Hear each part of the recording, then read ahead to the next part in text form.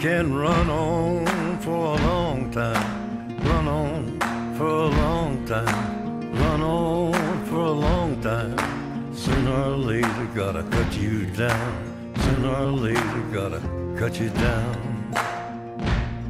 Go tell that long tongued liar, go and tell that midnight rider.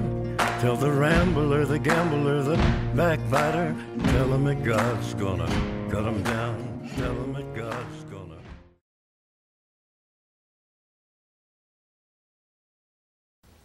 Children are so innocent, they don't know about adults molesting them. Their world to them is safe until somebody shows them differently. And then someone comes along and steals their innocence. Mine was stolen in the home. But now on the streets, they're not safe.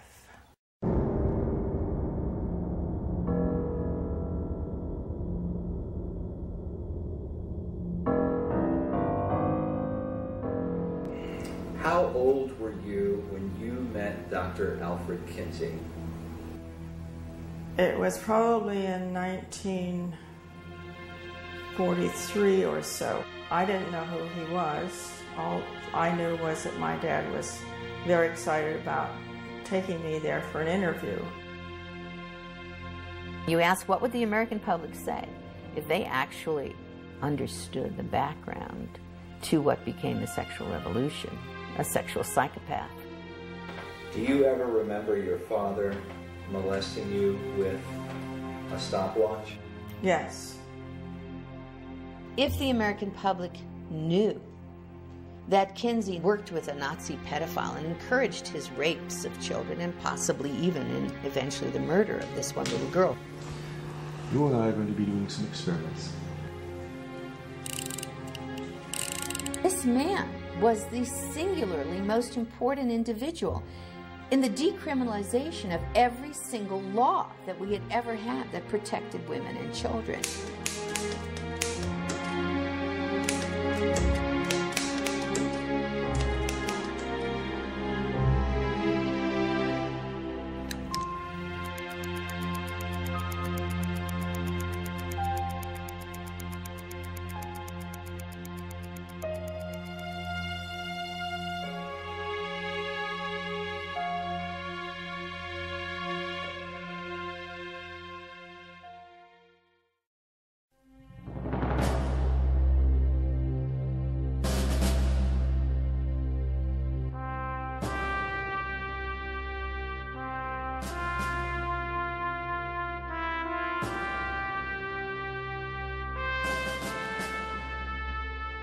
When America was founded, it said that our values were based on the Judeo Christian teachings of the Bible.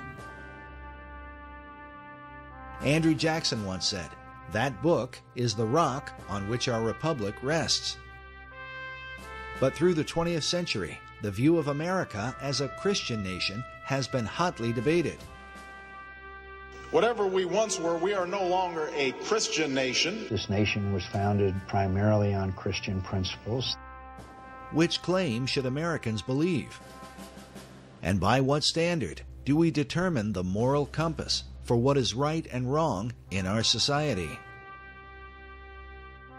George Washington, in his inaugural address of 1789, said, The propitious smiles of heaven cannot be expected on a nation that disregards the eternal rules of order and right, which heaven itself has ordained. Among our once traditional values was the protection of women and children, once considered a sacred duty among all men. But now, under the guise of so called liberty, the care of our most vulnerable has been compromised. We can only wonder what the father of our country might say if he could see what is happening to the children of America today and the reasons behind it.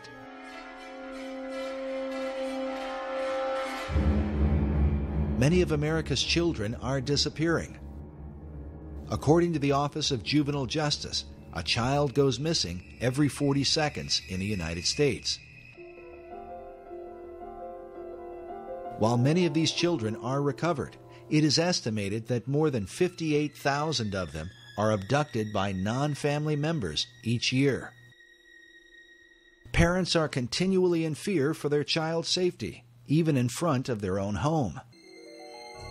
Predators seem to roam the streets of America like never before, searching for prey to carry out their unthinkable desires. Many of our laws are named after raped and murdered children, whose memories echo through our courts crying for justice. But still, the problem only seems to get worse. And we also see in a lot of these kidnapping and death cases recently by sex offenders that your child can be lost in just an instant.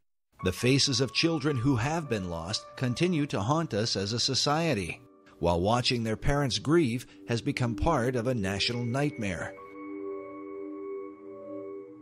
Meanwhile, the images of the sex offenders, the men responsible for these horrors, fills us with fear and loathing. And if a child survives their abuse, they often lead troubled lives, haunted by the memory of what they've endured. It is awful. Those kids shouldn't be subjected to this. That's awful. It scars them psychologically forever. It affects their lives. Well, some of the experts say that once a pedophile, always a pedophile, that recidivism is 80 or 90 percent, if not more. The United States of America has basically become a pedophile's playground. Uh, Jessica Lunsford's father, he had said, uh, he said, you know, wake up, America. Your child could be next. And sadly, a lot of people want to turn away from the evidence. They want to turn their heads like the proverbial ostrich with its head in the sand because they don't want to face what's going on until they're forced to face it because it becomes their child. Part of the confusion is over why many of our judges send repeat sex offenders back into our neighborhoods, knowing it is simply a matter of time before they strike again. Can the reason be that these same judges are compromised by their own sexual addiction. We know that the judges are like, they're human, they're like everybody else. Cases of judges who are compromised by porn are documented across the country. But the license for such behavior may have been issued in 1970 when Supreme Court Justice William O. Douglas and retired Justice Arthur Goldberg wrote articles for Playboy magazine. But why would an association with a soft porn magazine like Playboy be cause for concern? And how could it pertain to the world of pedophiles? The disturbing answer to this question as our history of this movement unfolds. In 1990, the American Bar Association reported that 80% of convicted child molesters plea bargain and serve no prison time. This statistic undoubtedly put known pedophiles back on the streets in record numbers. But this was a few years prior to the widespread use of the internet, where the most extreme forms of sexual perversion, and especially child pornography, have become a major factor in conditioning the next generation of sexual predators. In 2006, the law firm of Estey and Bomberger reported that the number of victims of childhood sexual abuse and molestation grows each year, this horrific crime is directly tied to the growth of pornography on the Internet. They went on to say that research reveals that 77% of child molesters of boys and 87% of child molesters of girls admitted imitating the sexual behavior they had seen in pornography they had watched. Basically, people that watch porn acted out. And so with the pedophilia, um, sure, people are going to see it and they're going to act it out. Uh, because of the huge impact that the porn industry has had, um, conservative estimates say service the highest service revenue on the internet, uh, over three billion a year in income just on internet porn, uh, and those are very conservative figures. I'm sure they're much higher, with between 500 and 700 new sites coming on a day on the internet. The increase in child sexual abuse cannot be denied. We are massacring our children. It is a holocaust against our children. I've prosecuted murders, I've prosecuted child molesters. And I'll tell you, I get more up in the air when I was prosecuting about the child molester than the murder. I'm not condoning murder, it's not the right thing to do, but it's over. The person's gone. Sad. But that poor little boy or girl, they're messed up for life. I mean, they're going to be carrying that baggage forever. And we as a society better start addressing that. Researchers argue that America's current problem with sexual predators is the fallout from the sexual revolution, a movement said to be inspired by the late Alfred Kinsey and his famous Kinsey Reports, first published in 1948. According to the conservative organization Human Events, the Kinsey Report is listed among the top 10 most harmful books of the 19th and 20th centuries. Number one on their list was the Communist Manifesto that inspired the deaths of more than 100 million people in the 20th century alone. Adolf Hitler's Mein Kampf that helped to bring about the Holocaust was listed at number two. While the quotations from Chairman Mao, who founded Communist China, was number three. At number four, as the first American title on the list, was the Kinsey Reports. Sexual behavior in the human male followed by sexual behavior in the human female, which, when first released, was likened to dropping an atom bomb on American society. In 1989, a report from the National Research Council published a statement that American society can be divided into two categories the pre Kinsey and post Kinsey eras. How could one man's influence come to define our culture and produce what some consider the most harmful book in American history. It would find its way into every aspect of our decision making in our lives. Dr. Judith Reisman is renowned for her expertise on the damaging influence of pornography. She has testified repeatedly before the U.S. Congress. Her research has been used by the FBI and by governments throughout the Western world when determining their policies on obscenity. She is author of the book, Kinsey Crimes and Consequences, in which she details the devastating impact of Alfred Kinsey in America. An influence she believes is behind the growing number of sexual predators who seem to come from all walks of life.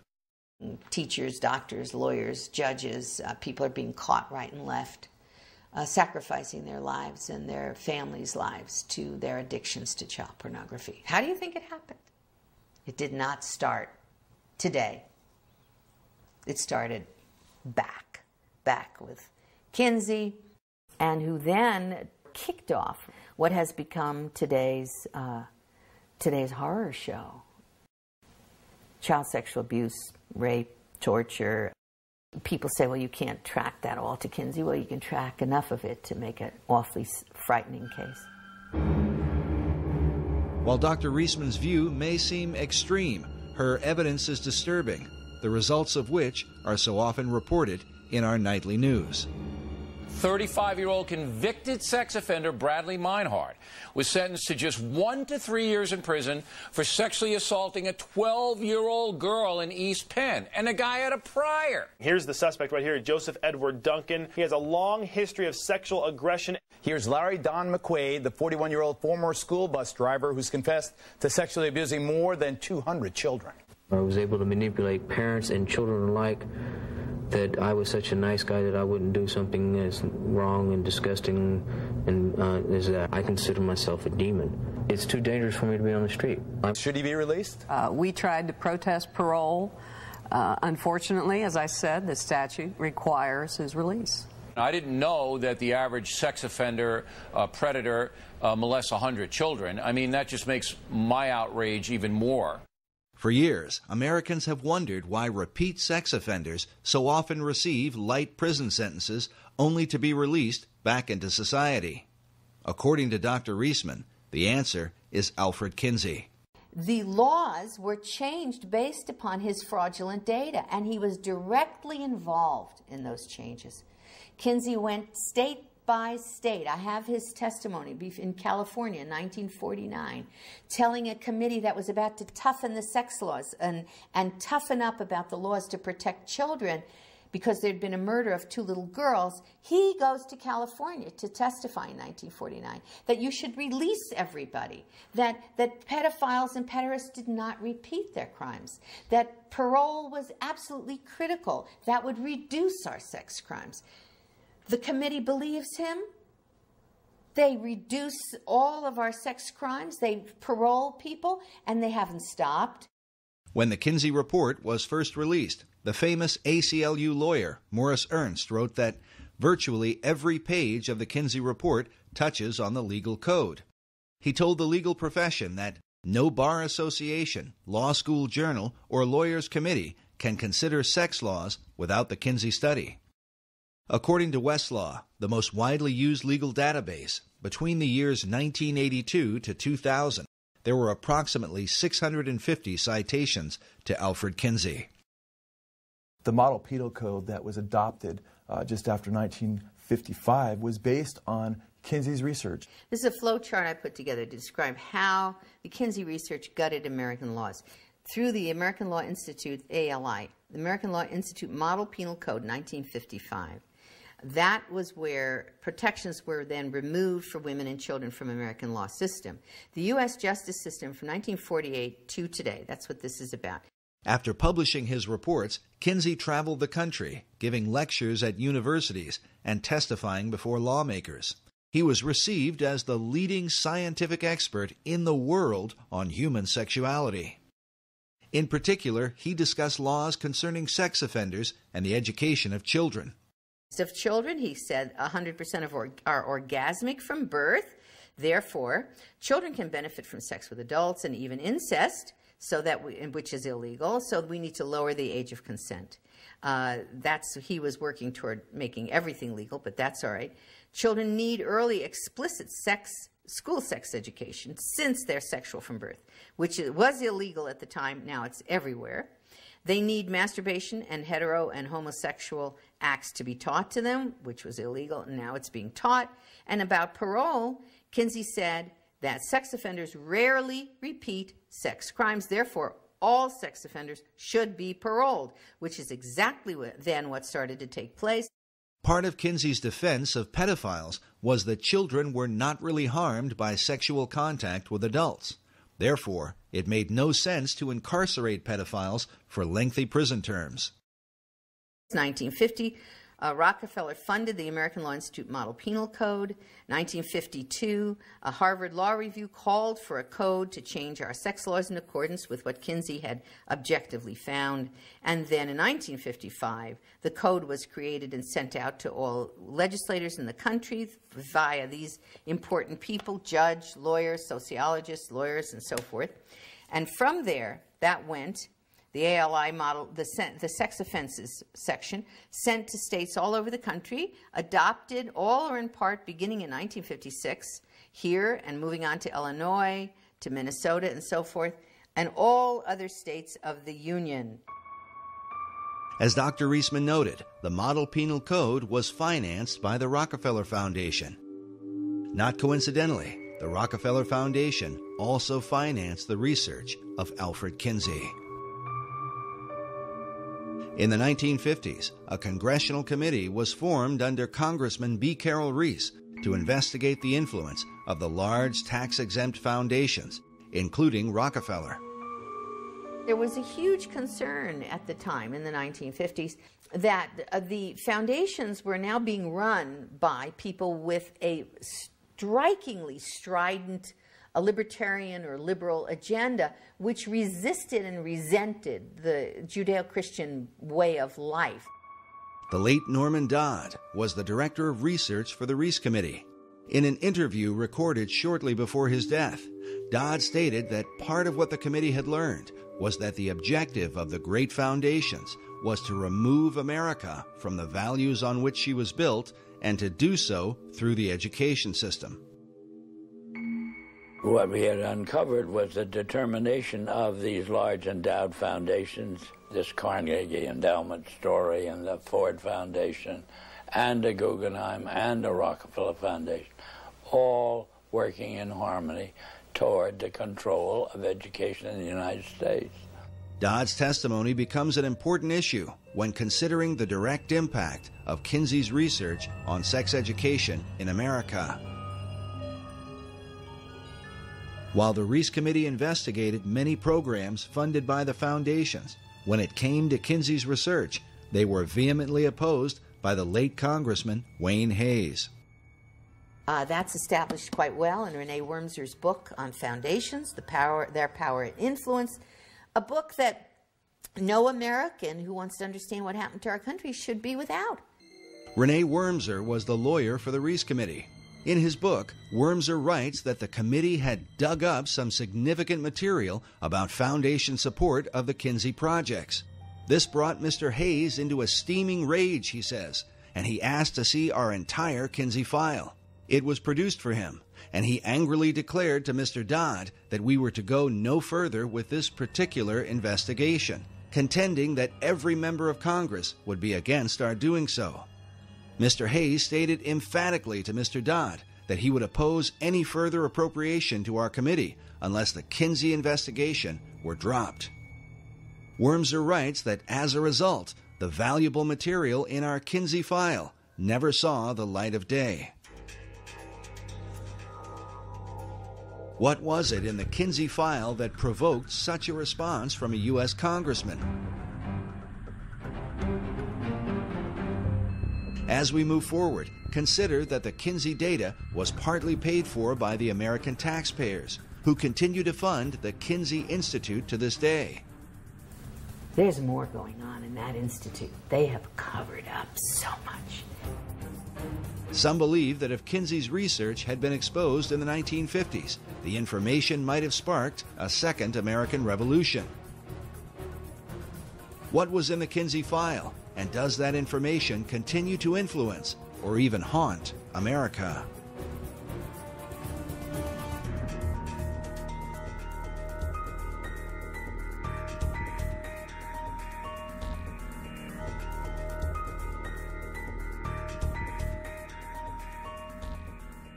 Through the 1930s and 40s, Alfred Kinsey conducted thousands of interviews with both men and women, taking, as he called it, their sexual histories. The purpose of his study was to discover the sexual behavior of the average man and woman in America at the time. Kinsey was a professor at the University of Indiana in Bloomington. Despite his Christian upbringing, he would come to reject the Judeo Christian belief of his family in favor of Darwinian philosophy, accepting the idea that man is simply a more highly evolved animal. Kinsey, as a zoologist and biologist, considered, rightly, that humans are animals, although lots of people hate to admit that. Kinsey's expertise had been the study of the gall wasp. He spent years collecting and cataloging thousands of them. Noticing the countless differences in these insects, he concluded that such variations must also be true of human behavior. Upon interviewing thousands of volunteer subjects, Kinsey not only recorded data, but drew certain conclusions about the sexual behavior of men, women, and children. But was his research that of an objective scientist or the intentional manipulation of a sexual deviant who wanted to remake the American male and female in his own image. Kinsey uh, has legitimized uh, the free sex revolution, um, and he did it through academia. But what's interesting, according to uh, research that's been done on this gentleman, uh, this guy was a pervert himself. Kinsey's critics claim that his real motive was not science, but a social agenda to change the morality of America, something admitted by Kinsey biographer Jonathan Gathorne Hardy. It's abundantly clear as you go into it that there was a very large social agenda. He, he didn't just want a greater tolerance and sanity from understanding the facts of sex. He, was, he thought it was quite monstrous the way homosexuals were regarded in general, there was a very powerful social agenda, which is perfectly plain when you read the book, from the polemic right the way through it, and was perfectly plain at the time to the people who worked with him. When the Kinsey reports were published, they shocked the country because the behavior that Kinsey described did not at all represent what most Americans believed about their own sexuality. Consider that Kinsey was documenting the behavior of the World War II era, those that Tom Brokaw called the greatest generation.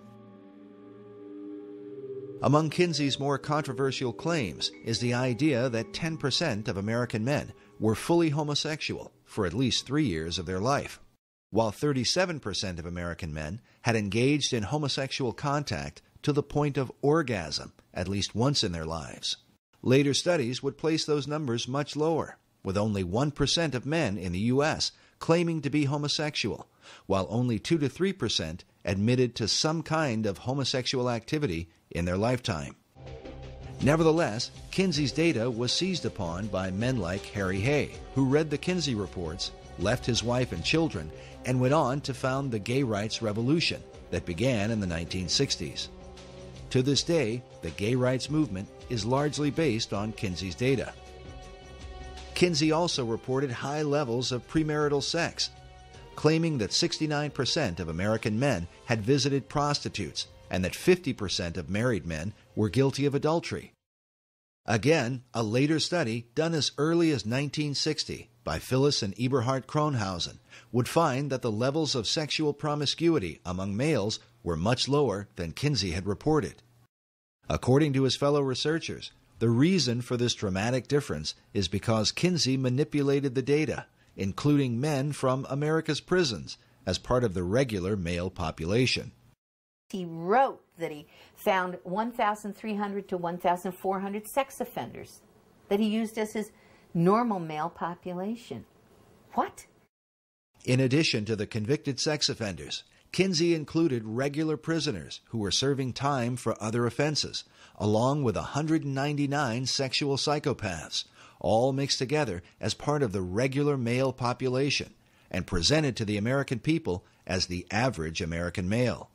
In this interview for the documentary titled One in Ten, listen as Paul Gebhard, who was one of Kinsey's co authors and a member of his original team, admits to the high percentage of prisoners and their impact on Kinsey's data. With these uh, poorer, lower educational level samples. And when I say poor, poorer, they had, for example, 55% were prison. 55% were prison.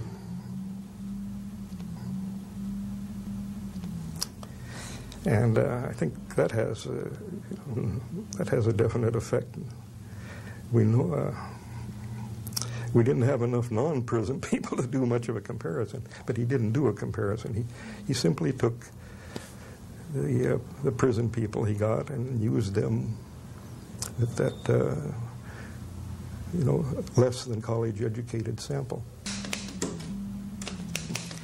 But the trouble was by you might say emphasizing the less than college educated sample he introduced a lot of errors into the data.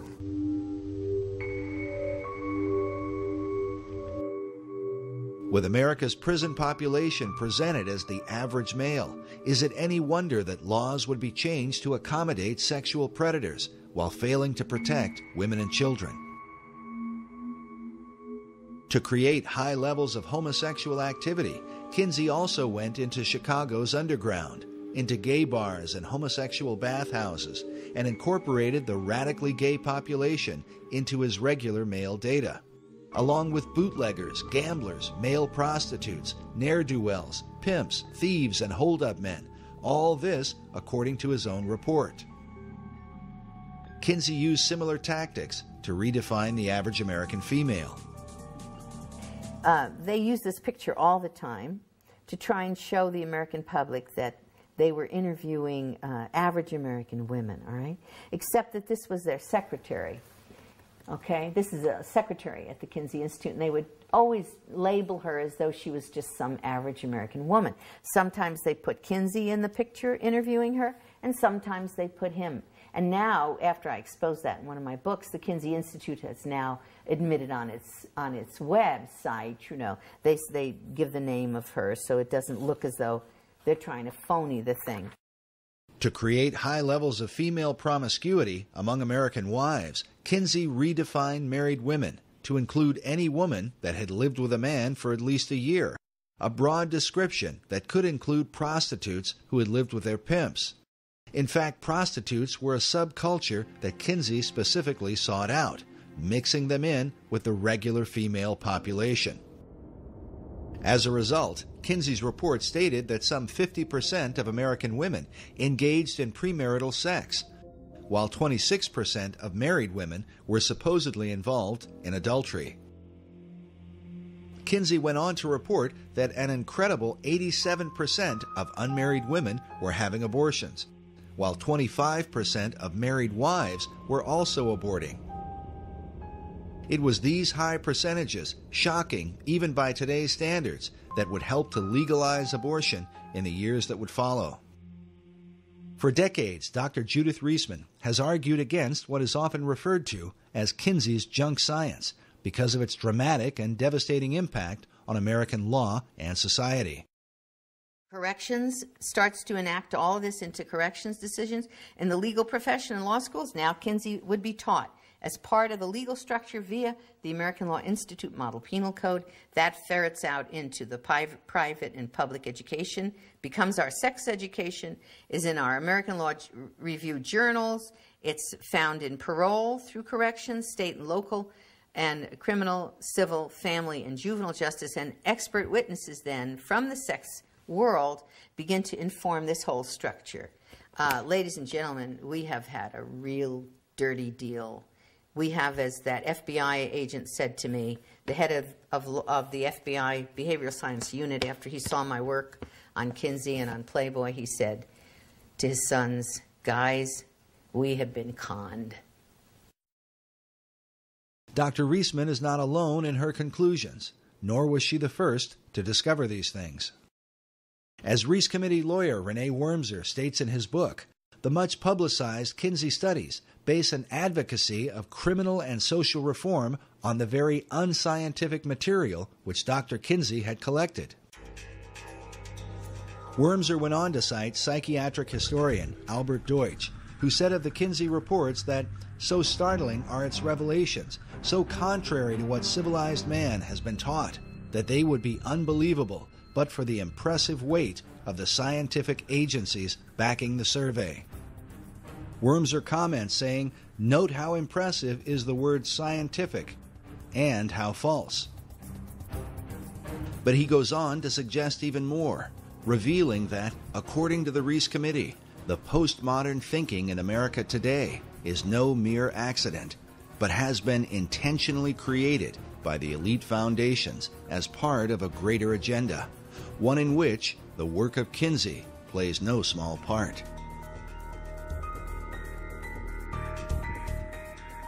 The Reece Committee wrote that it seems to this committee that there is a strong tendency on the part of many of the social scientists whose research is favored by the major foundations toward the concept that there are no absolutes, that everything, including basic moral law, is subject to change, however fundamental it may have been deemed to be under our Judeo Christian moral system. The puerile doctrine that change is always necessary has led many of these scientists to believe that there are no longer any inalienable rights. They deem themselves justified, with the support of foundation grants, to label their prejudices as truth and to experiment with society.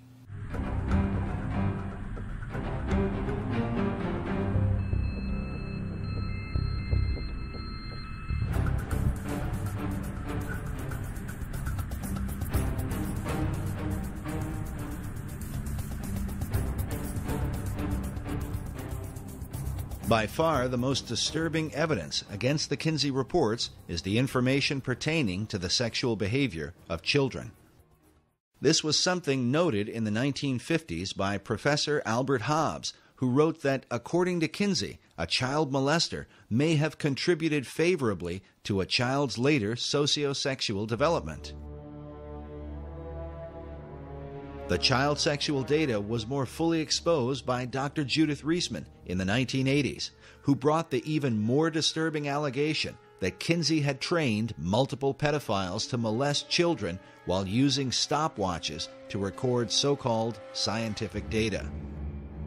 This man, this Kinsey, had been responsible for the rapes and tortures of, of hundreds, actually, it looks like thousands of children.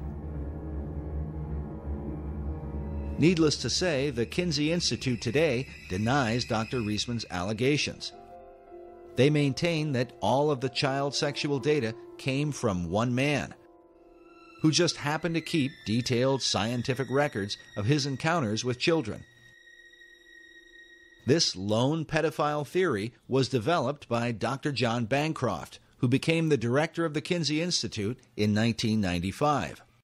Bancroft not only argued that the data came from just one man, but that Kinsey supposedly only got hold of the information years after this pedophile was finished raping kids.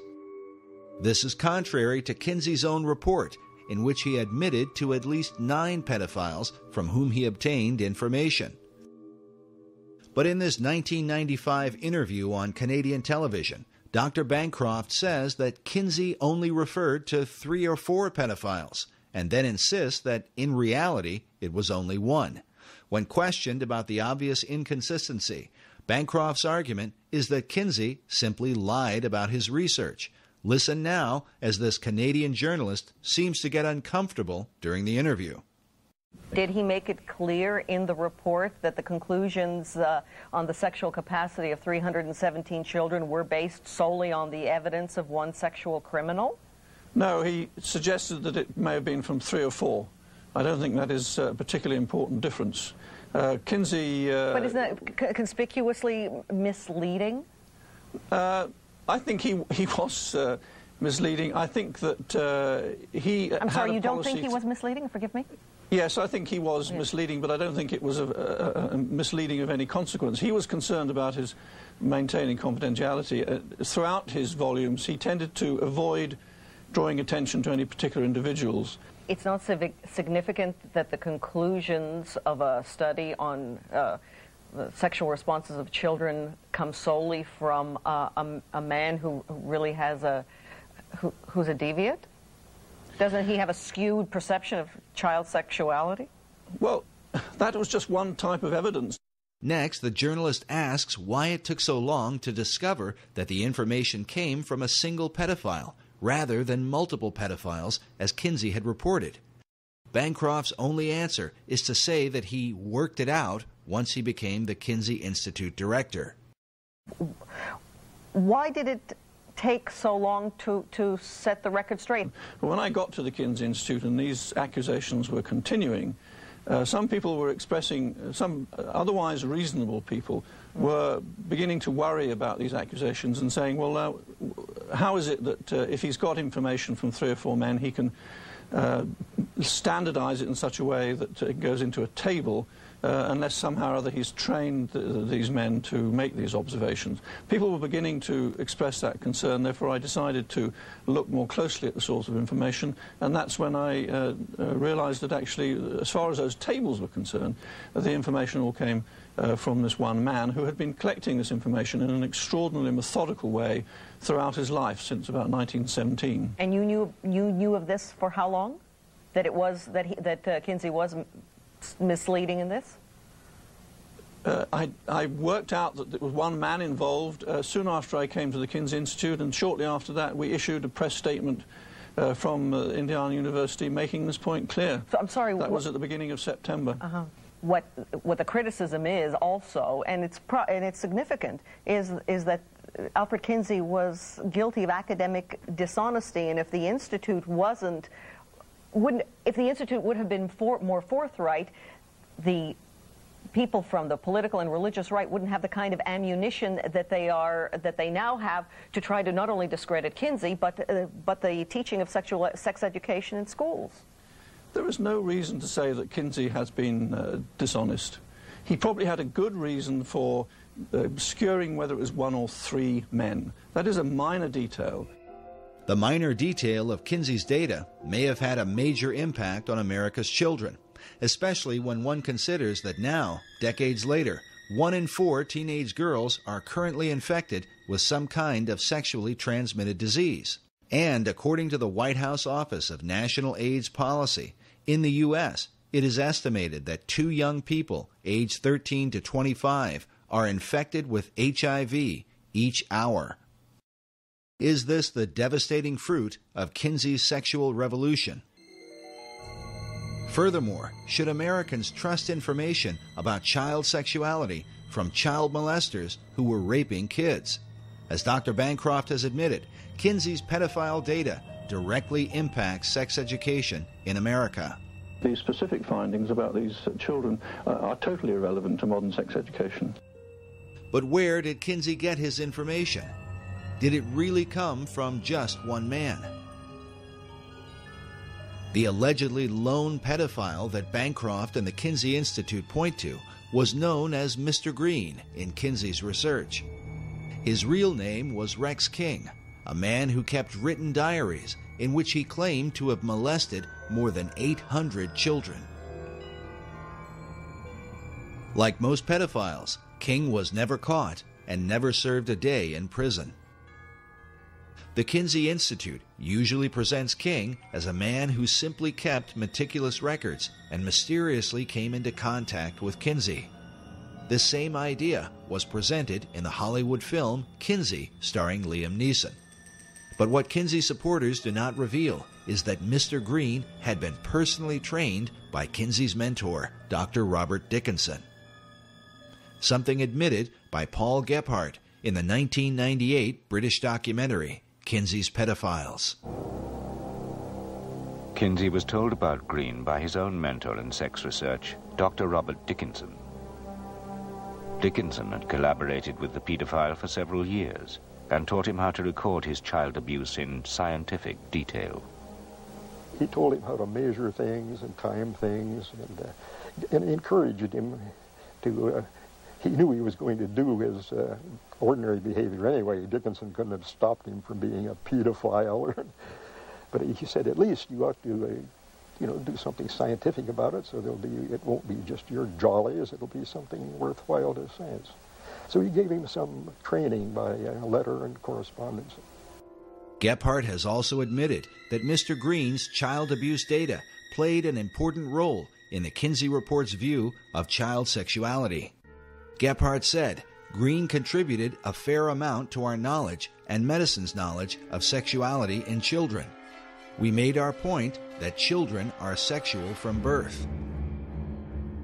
But the sexuality of these children was determined because, according to Kinsey's interpretation, the children supposedly enjoyed the molestation while it occurred.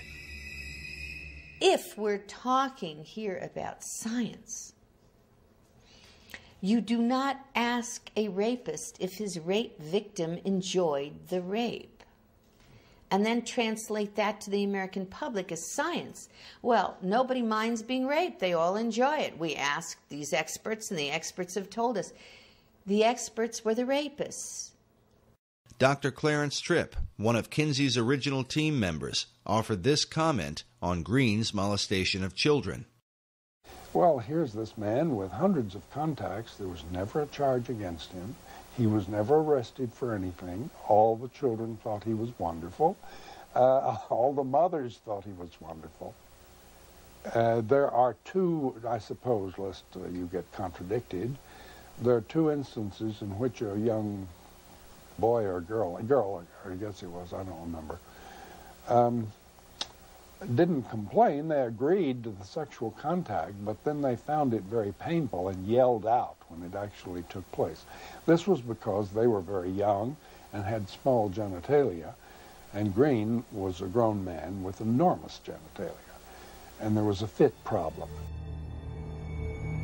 The idea that the children enjoyed being molested by Mr. Green is shocking enough, but the suggestion becomes even more appalling with a testimony of Jonathan Gathorne Hardy, a Kinsey biographer who is one of the few people who have been allowed to view Kinsey's private records. Speaking about their practice of keeping files secret, Hardy said, The Kinsey Institute is nervous people will read the journals. Rex King described having sex with this little girl, this little boy. I think the Kinsey Institute felt right wing figures would pluck out things I think they are right to keep them under cover. There are descriptions of King buggering boys nigh on 13 who doesn't enjoy it. I mean, it's quite sort of harsh stuff, some of it. But the most disturbing evidence comes from Kinsey's so called scientific tables, wherein he describes the sexual responses of young children. When I was reading Kinsey's book in the first place, and I looked at the tables, table 30, 31, 32, 33, 34, and these were tables with ages of children on the left hand side, and then orgasm in one panel, and timed orgasm, time of orgasm in the next one. In Kinsey's tables 31 through 34, he documented the timed orgasms of children as young as two months old, recording their responses down to the tenth of a second. The findings are so extreme that one child, a four year old, is said to have had 26 orgasms within a 24 hour period. For Dr. Reisman, the obvious question was where did Kinsey get such information? And I, I I looked at those charts and graphs. I can't tell you how long it took me to try to process what I was seeing. I said, These are, this is the torture of children. At the base of Table 31, Kinsey tells us that the data is based on actual observation of 317 males. Then on page 177 of the male volume, Kinsey writes, Orgasm is in our records for a female babe of four months. But how would anyone recognize such a response in a young child? Kinsey wrote that among pre adolescent boys and among younger females, orgasm is not so readily recognized, partly because of the lack of ejaculate. And so I said, what, what did this man, this Kinsey called an or, call an orgasm? Right. I mean, it's an obvious question, isn't it? I mean, um, First of all, this was not possible, but second of all, what did he call? Well, I saw he documented it on page 160 and 161 in, in Kinsey's book, Sexual Behavior in the Human Male. He described specifically what he called an orgasm amongst these children. Kinsey defined orgasm for pre adolescent children with the following description a gradual and sometimes prolonged build up to orgasm which involves still more violent convulsions of the whole body, heavy breathing, groaning, sobbing, or more violent cries, sometimes with an abundance of tears, especially among younger children. And he said there were six kinds of, six categories. He called them six categories of orgasm, and he had one category one, two, three, four, five, and six. And included in these categories of what he called an orgasm were uh, screaming, writhing in pain, hysterics, especially among younger children. He put that in parentheses, especially among younger children. Parentheses. Um, he said that the children had convulsions. Those were his words. He said they fainted. He said they they struck the partner. He called it the partner. This is the man who's raping the child. Okay. They struck the partner and tried to get away. And and he said that those were all examples for him, for him, of orgasm. Kinsey made it clear that this data was supplied by adult observers, who were defined as pedophiles by Kinsey's own team members, as you will hear later on. Kinsey wrote, Some males suffer excruciating pain and may scream. The males in the present group, by which he meant pre adolescent boys, become similarly hypersensitive before the arrival of actual orgasm, will fight away from the partner, and may make violent attempts to avoid climax, although, he said, they derive definite pleasure from the situation. Kinsey biographer James H. Jones was a 1998 Pulitzer Prize finalist for his biography on Kinsey. In the Yorkshire documentary, Jones had this to say about Kinsey's description of child orgasm if you read those words, what he's talking about is kids who are screaming, kids who are protesting in every way they can the fact that their bodies, that their persons are being violated. At that point, reading that, I said, the only person who could write that would be number one, a pedophile or a pederast, because these were boys, was homosexual abuse of boys and a sadomasochist. That is, the only human being in the world who could call an orgasm something that involved people throwing up, I mean, having convulsions, fainting, screaming, crying. Uh, the only person who could do that is someone who experienced that themselves. And that had to be a sadomasochist. And the only person who could apply their sadomasochism to an infant and a child would be a pederast, a rapist. And that's what Kinsey did in that book. Kinsey's own sadomasochistic tendencies have been documented by a number of biographers. James Jones revealed that Kinsey once climbed into a bathtub and circumcised himself with a pocket knife without the benefit of anesthesia. Another account of Kinsey's extreme self abuse came about when his research was under investigation. Jones reports that after the Rockefeller Foundation withdrew his funding, Kinsey went to a basement, tied one end of a rope to an exposed ceiling pipe and the other end around his scrotum, then stood on a chair and jumped off. The abuse that he inflicted on his organs, on his sexual organs, were very directly identified in his death. That was orchitis. That was a serious inflammation and, and um, disease that he inflicted upon himself that was basically involved in his final death. Now, the attempt to claim that Kinsey died of a heart attack is a perfectly reasonable thing to try to do. It's kind of embarrassing to say that the father of the entire sexual revolution, who has trained all of our sex educators in the United States of America basically, died because he had so abused himself doing the activity that they tell everybody is okay, that he died of this terrible and very painful experience. If Kinsey's abuse had only been inflicted upon himself, his critics might be less likely to accuse him. But his abuse extended to children, the most precious members of our society. In this image, Kinsey seems to take a demented sort of glee in showing these young children a film of two porcupines engaged in a sexual act. He seems oblivious to the confused and even disturbed looks on the faces of these children. Was it this same lack of concern that enabled Kinsey to support and even encourage the most depraved sexual criminals?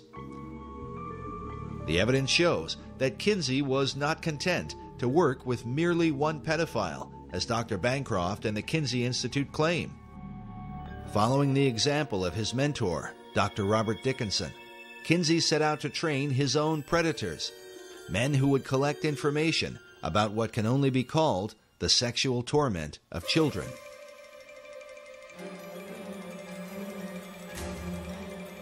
Dr. Clarence Tripp was Kinsey's photographer who filmed and photographed sex scenes in the attic of Kinsey's home in Bloomington, Indiana.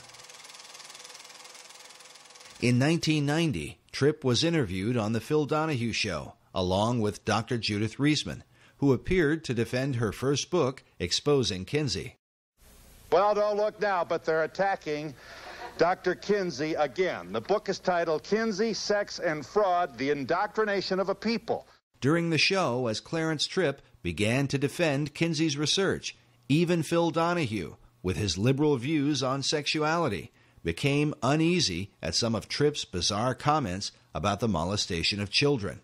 We should say that you are a, uh, the author of The Homosexual Matrix, right. a book which got quite a positive uh, response yes, from. I want to agree with um, uh, Reisman on one point. Um, I think we really ought to talk about the child stuff before we mix in the right. Well, make your point, homosexual stuff. Um, you know, uh, we really shouldn't go too fast there. We want to savor that because it is it is wonderful. It's so delicious what she says. I want to draw you a picture of the image. The image is that the world famous sex researchers, or Dr. Kinsey alone, it's not quite clear, are in a room and uh, they hover over a young child, less than a year old, and with their fingers or a feather, that's not quite sure, uh, clear, they uh, tickle the genitalia and bring this kid to orgasm who is screaming that? and hollering and possibly held down by chains.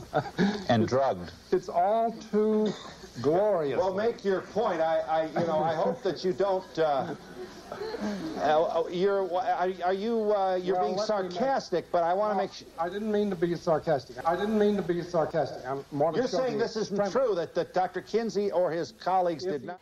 This is this is the man who was with me on Donahue saying you got to stay with this. It's delicious what she says about what they were doing to to the children. Dr. Reisman refused to go on Donahue unless he would agree to show Kinsey's tables, where the child sex abuse data is presented. Despite knowing about these tables, Donahue repeatedly insisted that no proof existed of child abuse in Kinsey's research. Nevertheless, he did show the data to his audience. Well, we're going to show. There. Now, uh, now, All right, read now what is the point? You what is tell me point? what is the point. Five months old. What is it? I can hardly read it. What's next to that? Number of orgasms. Oh, number of orgasms. Three. Go down to the four-year-old. You see the four-year-old there? 17, yeah. There, bottom one. Yes, Four-year-old, 26 orgasms in 24 hours. Tell, tell me, Phil. Tell me, Yes, Phil. Uh, Does a baby uh, sleep? Uh, tell me, Phil. Tell me, Phil. Does a baby sleep? Tell me if this is scientific. A baby sleeps for eight hours. And you, you tell me how the- you get 26 orgasms for 24 Well, hours. I don't know about We've got to be able to get a word in edgewise. Just a minute, just a yeah. minute, just a minute. Sounds like a guest for the Donahue show. And you know, and you know what, and you know what Gebhard said to me. You know what Dr. What'd he Gebhard say? said? He wrote me a letter, which I wish you had up there too, in which he said that oral and manual techniques were used on the children. Now, Phil, I'm going to say that once But- more. but- but I'm going to say that once more. And if I'm wrong, let them sue me. He They said didn't do it. oral and manual techniques were used on those children. The letter that Dr. Reisman refers to was written by Paul Gebhard on March 11, 1981, in which he attempted to explain where the child sexual data came from. In this letter, he admits that multiple pedophiles were used in collecting information for the Kinsey reports. Gebhard writes, Since sexual experimentation with human infants and children is illegal, we have had to depend upon other sources. Some of these were parents. A few were nursery school owners or teachers. Others were homosexual males interested in older but still prepubertal children. One was a man who had numerous sexual contacts with male and female infants and children, and being of a scientific bent, kept detailed records of each encounter. Gebhard went on to say that some of these sources have added to their written or verbal reports photographs, and in a few instances, cinema. The techniques involved were self masturbation by the child, child child sex play, and adult child contacts, chiefly manual or oral. Gebhard's letter clearly refutes the lone pedophile theory of Dr. John Bancroft, but fits in perfectly with what Kinsey documented in sexual behavior in the human male. Gebhard's mention that photographs and cinema were sent to Kinsey also explains the discovery made by former Kinsey Institute director June Reinisch in 1984. This was Newsweek uh, in 84 when June Reinisch said, you know, that the Institute encourages visitors and so forth. And she says, uh, uh, and um, what's her name? Reinisch, Reinisch says that she found um, a collection of child pornography so distasteful to Reinisch personally, she couldn't bear to look at it, all right? Now, nobody's, she's not asking where that child pornography came from, right? But some of it was Now, she found this at the Kinsey at the Kinsey Institute? Institute? yes. Yeah, at the Kinsey Institute. And John uh, Bancroft, who wrote about Kinsey and supported Kinsey for years before he was hired as the head of the Kinsey Institute, right? Who was supposed to be an expert on Kinsey, which was why he was hired by the Kinsey Institute, now suddenly claims that everybody knew all along that these children were being raped by one pedophile. Well, he's the expert on Kinsey. Why didn't he ever write about it before he got hired? Why did he have to go into the Kinsey Institute to look into it if it's all laying out there? He knew that, that it wasn't a couple of pedophiles, which he said at one point. It wasn't one pedophile, which he said at another point. Kinsey said it was nine pedophiles. That's what he wrote. And it certainly would have been at least nine because we now know from Yorkshire television that Kinsey was working with a group of pedophiles. There was also a pedophile organization in this country, uh, they cooperated with us. And some of them who are not, of course, not incarcerated, uh, they came and uh, gave us information. Dr. Reisman believes the pedophile organization mentioned by Gebhard may have been the nucleus for what would become NAMBLA, the North American Man Boy Love Association. While child molestation is a crime in any circumstance, the members of NAMBLA claim that their intentions are out of love for the children they molest. Yet this cover of a NAMBLA bulletin, which they called their back to school issue, paints quite a different picture. It shows a frightened boy cornered by two adult men who are about to force him into sexual contact, and is more consistent with the information found in the Kinsey reports that children are in fact being raped and tormented by the pedophiles who prey upon them. To this day, NAMBLA looks to Alfred Kinsey as their inspiration, saying that gay liberationists in general, and boy lovers in particular, should know Kinsey's work and hold it dear. Implicit in Kinsey is the struggle we fight today. Well, there's a huge connection between Alfred Kinsey and NAMBLA. In fact, uh, NAMBLA has relied upon Kinsey's research for years. Kinsey uh, tried to make pedophilia seem acceptable. Kinsey's argument was that it was society's reaction to pedophiles that caused the real trauma of child molestation. Members of NAMBLA will often refer to this quote from Sexual Behavior in the Human Female, where Kinsey wrote that when children are constantly warned by parents and teachers against contacts with adults, they are ready to become hysterical as soon as any older person approaches, or stops and speaks to them in the street, or fondles them. Some of the more experienced students of juvenile problems have come to believe that the emotional reactions of the parents, police officers, and other adults who discover that the child has had such a contact may disturb the child more seriously than the sexual contacts themselves. The current hysteria over sex offenders may very well have serious effects on the ability of many of these children to work out sexual adjustments some years later. In Kinsey's view, a lot of sex crime was really not crime at all. He seemed to worship sexual experience. I mean, he had a 24 7 obsession with sex long before he attained the position at Indiana University.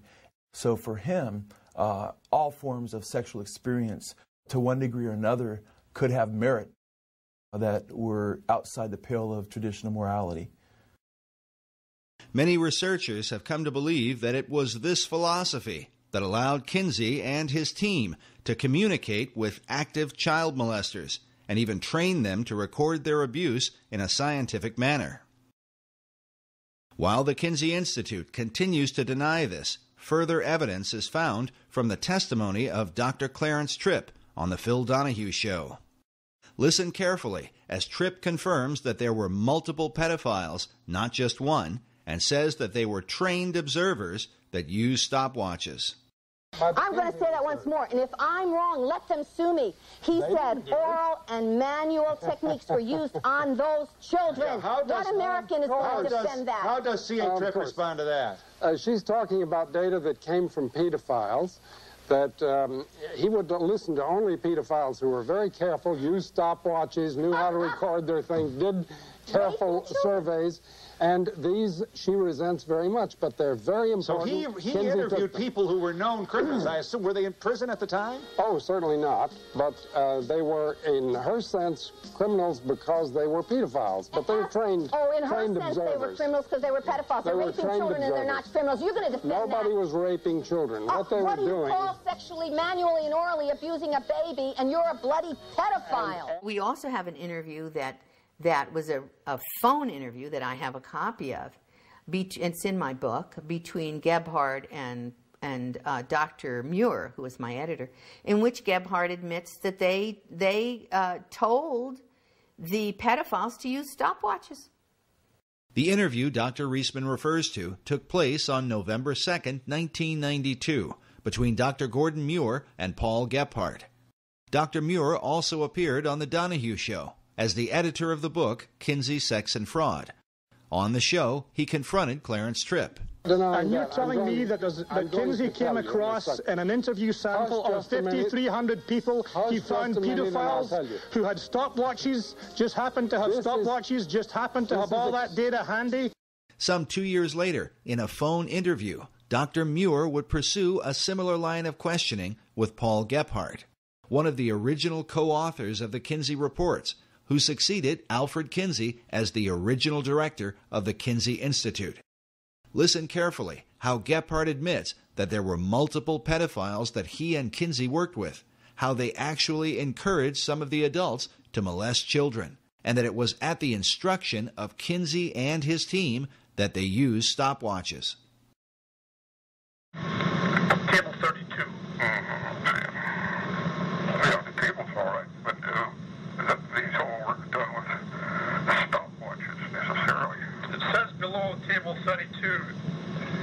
The legend says duration of stimulation before climax. Observations timed with second hand or stopwatch.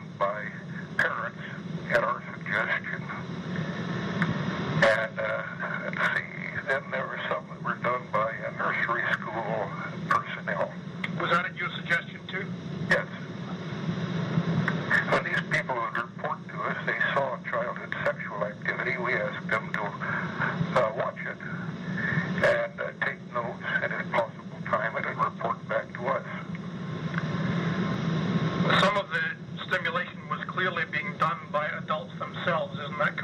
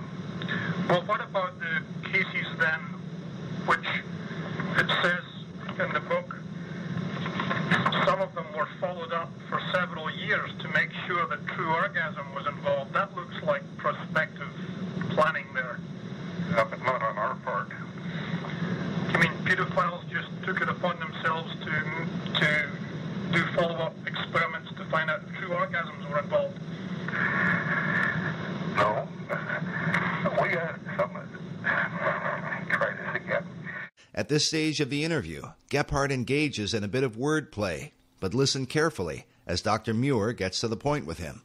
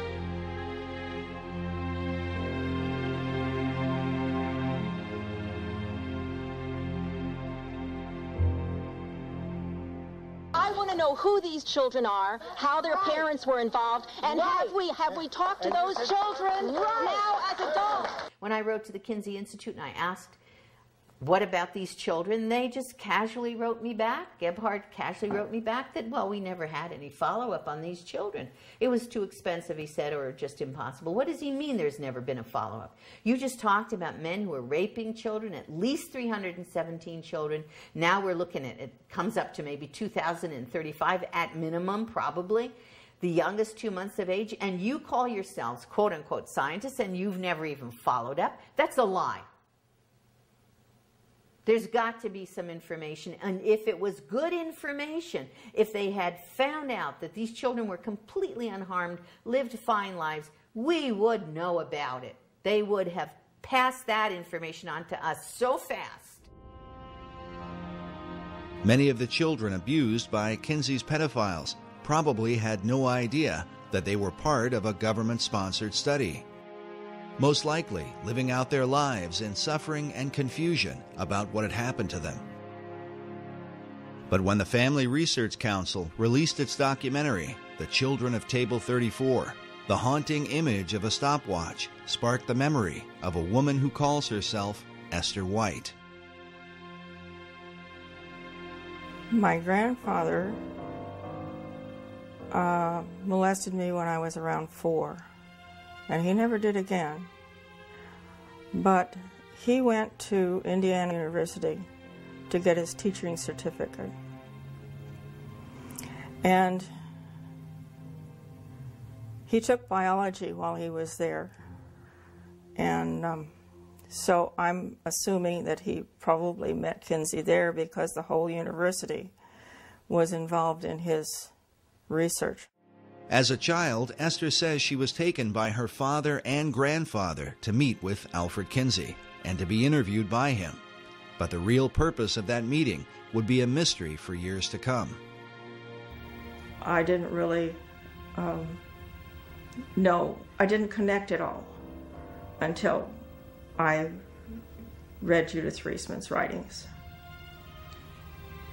especially when it came to uh, the video that she did uh, where they showed a stopwatch. And that was the key. I realized, yes, that was what was going on. Now in her 70s, her desire is to remain as anonymous as possible out of consideration for her family. Esther White is her assumed name. How old were you when you met Dr. Alfred Kinsey? It was probably in 1943 or so, 43 or 44. I was born in 34. Um, my father was very excited about taking me there to meet Dr. Kinsey. I didn't know who he was. All I knew was that my dad was very excited about taking me there for an interview. And he was instructing me that I was to um, be very nice to this man and answer him. Um, he told me he, they would ask me about my family and whether I loved my family and so forth. So um, when we got there, it was at my grandfather's and great grandmother's house. And um, uh, Mr. Kinsey and his two colleagues were late in getting there because it was wintertime. And he was doing a seminar at um, Ohio State University. This was in Columbus, Ohio. And um, when he came, he was in very much of a rush because they were so late. And he kneeled down in front of me and asked me questions about whether I loved my daddy, uh, whether I loved uh, my family, and um, of course, I said yes because I did. I love my family. And the interview was very short. Um, there was a man with him that had a clipboard who was taking down my answers to the questions. I can't remember all the questions he asked, but it was probably a five or ten minute interview. And um, just before they left, my grandfather said, What about the check? And uh, he says, Oh, yes, I almost forgot. Who said that? Kinsey? Kinsey said that. And so my uh, grandfather took a check from him, and Kinsey said, I made it out to both of you because I didn't know which one was going to get the money. The disturbing implication is that Alfred Kinsey used taxpayer money via the Rockefeller Foundation to finance pedophiles who were actively molesting children. Why would he pay them? For what? At the time, I didn't know for what. Many years later, I found out that uh, my dad had actually helped Alfred Kinsey do research for his book. Esther's own father had been molesting her for years and sending information to the Kinsey Institute. When Kinsey's book, Sexual Behavior in the Human Male, was released, her father showed her a copy and boasted that he had helped to write it. At the time, she did not know what he meant. He gave me a copy of the book in 1947, but it was a pre edition signed by somebody, autographed by somebody, and I don't remember who. But my father gave me the book and said that he helped Alfred Kinsey, re, you know, um, research uh, on the book, and that it was going to change the way the world looked at sexuality. How old were you when your father first began to molest you? I was probably around six, maybe seven. I couldn't tell you exactly. Do you ever remember your father molesting you with a stopwatch? Yes. And then would he record information? There were um, uh, papers on the on the dresser, and I saw one of the papers one day, and it had um, a lot of questions on it. Um, and there were little boxes to check those things off when those things were done. And uh, it was talking about orgasm. I didn't know what that word meant, but at the time. And when I asked him what that word meant, when I saw it on the paper, he grabbed the paper, put it in a brown envelope, and he said, that he was late in sending this in. And he put it in this big brown envelope. Esther's revealing testimony confirms Paul Gebhard's statement that Kinsey worked with parents who sent him child abuse data. She was also interviewed years ago by British filmmaker Tim Tate, who directed the documentary Kinsey's Pedophiles. Uh, Esther White, for what it's worth, um, swore uh, what's called a statutory declaration here. Um, she swore on oath that the information she gave was true and to the best of her recollection, and so did her mother. We asked Esther to give us her opinion about the Kinseyan philosophy that children are sexual from birth. Children are not sexual from birth. They are obedient to whomever is over them. In my case, it was my father. You honored your mother and your father. You obeyed what they said. You did what they said. That's the reason I was silent for so many years. I was told not to tell my mother that this was uh, normal and all the other little girls and boys were doing this too. So this was not a, a, a rare thing at all. That was they just didn't talk about it. So I was made to believe that I was sexual, but I wasn't. I hated it. I cried, I had convulsions, but that was totally ignored. She's heartbroken about the life that she lived because of her abuse at the hands of her father and grandfather who were working for Kinsey and sending material to him. Uh, there are others out there like that. Um, Bancroft said he knew there were, and he was afraid they were going to show up. He wasn't talking about one pedophile. When he said he was afraid that the children of these pedophiles would show up. He was talking about a lot of people who were damaged, and he knew it. And the Kinsey Institute knows it, and, the, and Indiana University knows it, and they've always known it.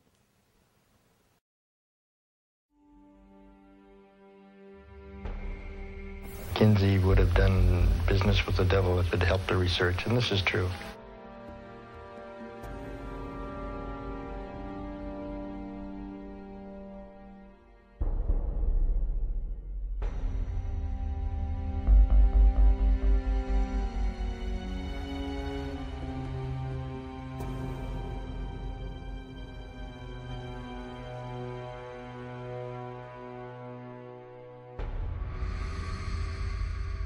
View Kinsey as one of the most treasonous Americans in human history.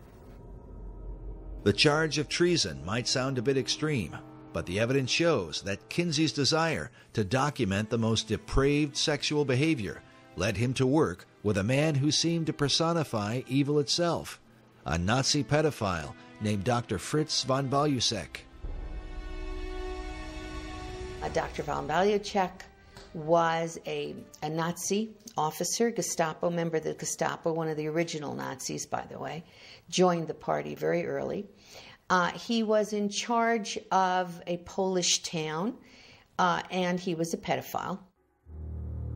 Years after the war, von Balluseck was arrested and put on trial for the murder of a 10 year old girl who had been found naked and throttled on a piece of wasteland. The German authorities suspected von Balluseck of the crime because the same girl had been listed among several hundred children he had raped, the details of which he had recorded in his pseudo scientific diaries.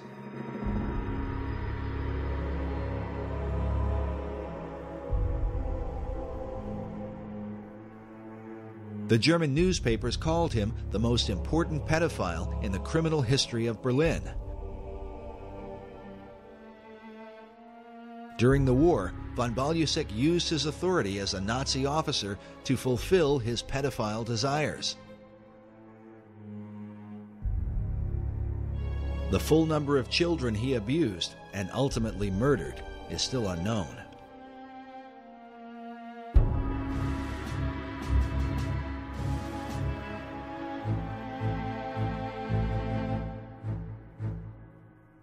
When he was arrested, for uh, po- for rape of many, many, many children, but also possible murder of a little girl.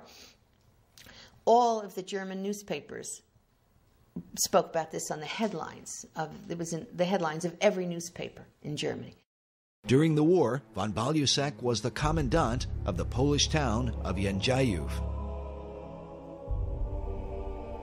There he threatened the children with certain death if they refused his sexual desires. What he recorded in his diaries of how he treated these children was so criminal that during his trial, the judge cried out, quote, This is no longer human.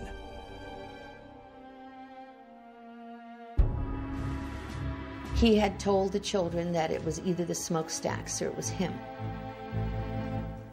And uh, it turned out that most all the children ended up by, apparently in the smokestacks anyway. Post World War II, he was highly placed uh, in, uh, in, in civic government, and uh, he was arrested for this uh, possible murder. Um, and being investigated. And in the process, they found that he had been corresponding extensively with Kinsey, that Dr. Kinsey had warned him to be aware and careful of the uh, authorities so he shouldn't get caught. The German authorities learned that von Balluseck and Kinsey had a working relationship, and that Dr. Kinsey was well aware of the vicious abuse the Nazi pedophile was inflicting upon innocent children. At his trial, the judge said to von Balluseck, I got the impression that you got to the children in order to impress Kinsey and to deliver him material. To which von Balluseck replied, Kinsey himself asked me for that. The German press was outraged, and the, the judge was outraged. The judge went on to say, instead of answering his sordid letters, the strange American scholar should have rather made sure that Mr. von Balluseck was put behind bars. The German press reported that Kinsey's letters to the Nazi contained warnings to watch out or be careful of getting caught. They wrote that in his diaries, von Balluseck stuck in the letters from the sex researcher Kinsey, in which he'd been encouraged to continue his research. He had also started relationships to expand his researches. One shivers to think of the lengths he went to.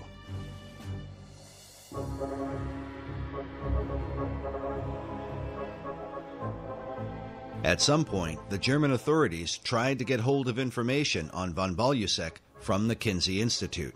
The Kinsey Institute, even though they knew they were dealing with a Nazi and a paedophile, um, when the German authorities wanted, for the purposes of this uh, murder investigation, wanted to get hold of that information, um, the Kinsey Institute refused, and Gebhard said to me, and indeed on camera, that they would have destroyed any evidence before they handed it over to the police. Paul Gebhard said of this event that the FBI put pressure on Kinsey to reveal the guy's sexual diary. But Kinsey said, absolutely not.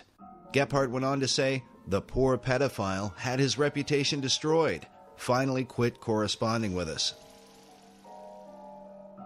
While German media documented the story heavily, the American press, under the powerful influence of the tax exempt foundations, gave almost no attention to the story, even though Kinsey's research, which had turned the country upside down, was almost certainly based in part on the sexual abuse done by a Nazi pedophile during the Second World War.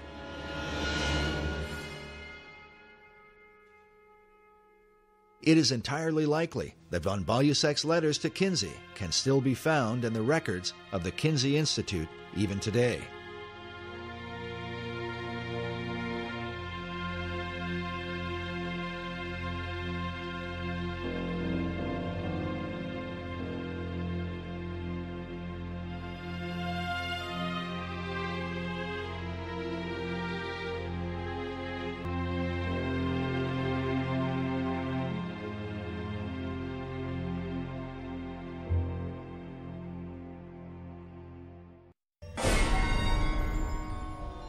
Kinsey's willingness to work with the devil at one point seemed to take on a very literal meaning. One of the interesting things I found several years ago in researching the Satanist Aleister Crowley uh, was the influence that he has had on so many people here in the United States of America. And one of the man, men that he had influenced was Alfred Kinsey. After publishing his male and female reports, Kinsey began to travel abroad and study sexuality in foreign countries. In his book, Kinsey co author Wardell Pomeroy wrote that Kinsey went looking for a prized item, the diaries of Aleister Crowley. Crowley died just a year before uh, Kinsey's book came out. Crowley was a famous and highly controversial British occultist in the early part of the 20th century his sexual exploits and bizarre and sometimes deadly satanic rituals had been exposed in the London newspapers. He also talked about taking a virgin and having sexual relations with her, and then upon a climax, to actually murder her, cut her in six pieces, and put the names of the various demon gods on those six limbs, those six parts of her body. Taking the name for the Antichrist in the Bible, Crowley called himself the Beast 666. His famous saying was, Do what thou wilt shall be the whole of the law, by which he justified all forms of immorality. Crowley had a sex temple and had practiced uh, group sex and orgies and what have you, and so called sex magic. Crowley was into pedophilia. He was into uh, justifying his pedophilia. In fact, he had said, Let me seduce the boys of England. He wanted to seduce them, and he, then he starts talking about sodomy and it being, should be acceptable. So, uh, I mean, it was quite shocking, especially back then. Pomeroy wrote that Crowley was called by Lord Douglas the wickedest man who ever lived, and his sexual history alone was enough to earn him the title he gloried in, the Beast. Crowley kept a diary up to his death. Two weeks after Kinsey tracked down these papers in England, he found himself in the temple that the Beast had founded in Sicily. Kinsey is pictured here inside Crowley's temple, known as the Abbey Thelema, where he performed his satanic rituals. On the wall is a picture of Crowley himself, while across from Kinsey is another man named Kenneth Anger. Anger was a close acquaintance who appeared in some of Kinsey's sex films, made in the attic of his Bloomington home. As an avant garde filmmaker, Anger was deeply involved in the occult. He directed films with titles such as Lucifer Rising and The Invocation of My Demon Brother. Kenneth Anger uh, is a co-founder of uh, Anton LaVey's Church of Satan, and Kenneth Anger uh, also was, you know, had a penchant for younger men for sure. Bobby Beausoleil was his live-in boyfriend. That's the same Bobby Beausoleil that committed the first murder, uh, killing Hinman for uh, Charles Manson. That was his live-in boyfriend. He played Lucifer in one of his uh, occult uh, movies that extolled the virtues of Aleister Crowley's magic and what have you. In this image from one of Anger's films, we see Bobby Beausoleil, who would later become one of Charles Manson's killers. He's standing next to a doorway with Crowley's maxim, Do what thou wilt, painted on the door. A phrase that certainly fit with Kinsey's own view of human sexuality. Pomeroy even admits that, that Kinsey uh, loved uh, Crowley's writings, including uh, specifically mentioning some of his homosexual erotica. Uh, uh, one of his books called White Stains. Kenneth Anger is quoted saying that Kinsey was obsessed with obtaining the Great Beast's day to day sex diaries. To obtain grant monies and maintain the support of the university, Kinsey needed the excuse of research to validate his 24 hours a day obsession with sex. However, Kinsey's battle cry of do your best and let other people react as they will seemed a variation on Crowley's do what thou wilt maxim. An older Kenneth Anger is pictured here with the name Lucifer tattooed on his chest. So important was Anger's relationship with Kinsey that to this day, the Kinsey Institute Library features a Kenneth Anger collection with an archive of Anger's films as well as the correspondence between him and Alfred Kinsey. Should America be disturbed that the father of her sexual revolution, who changed American law and laid the foundation for sex education, had such associations? If America continues to be influenced by Kinsey, what will it mean for her future? What Kinsey discovered at Crowley's mysterious abbey might provide a clue.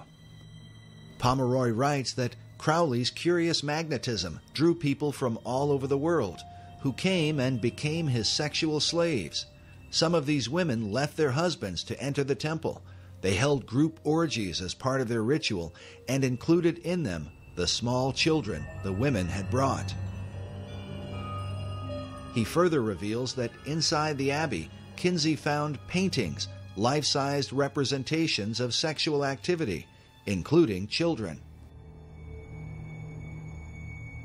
Some have considered the possibility that Aleister Crowley was another of Kinsey's pedophiles who kept his diaries as part of Kinsey's sex research. I would be surprised if Kinsey uh, was not, in fact, either paying or communicating with Crowley regarding his sex diaries, because Crowley was more open and more public with his sexual exploits than pretty much anybody of the time. He was known as the wickedest man on the earth long before uh, Kinsey would have gone to him. He was far more uh, accessible than, say, a Nazi officer in Germany uh, to Kinsey, and, and as, as ugly as Crowley was to so many people, uh, he wasn't nearly as known, or, or, there wasn't the reputation that there was with the Nazis. And at the same time, Crowley uh, could have used the money in the 1940s. He had, uh, you know, he wasn't as rich as he was. He had spent a lot of his money, so he would have been more open to that. And then to see that Kinsey was actually reading Crowley's stuff, we know that from Pomeroy. And uh, it would be hard to believe that he wasn't already working with Crowley and encouraging Crowley to continue on with his sexual exploits. One way or another, the, the net effect is the same. Kinsey was fostering much of the same revolution that Crowley had begun over in England and was helping continue what Crowley hoped would take place in the United States of America.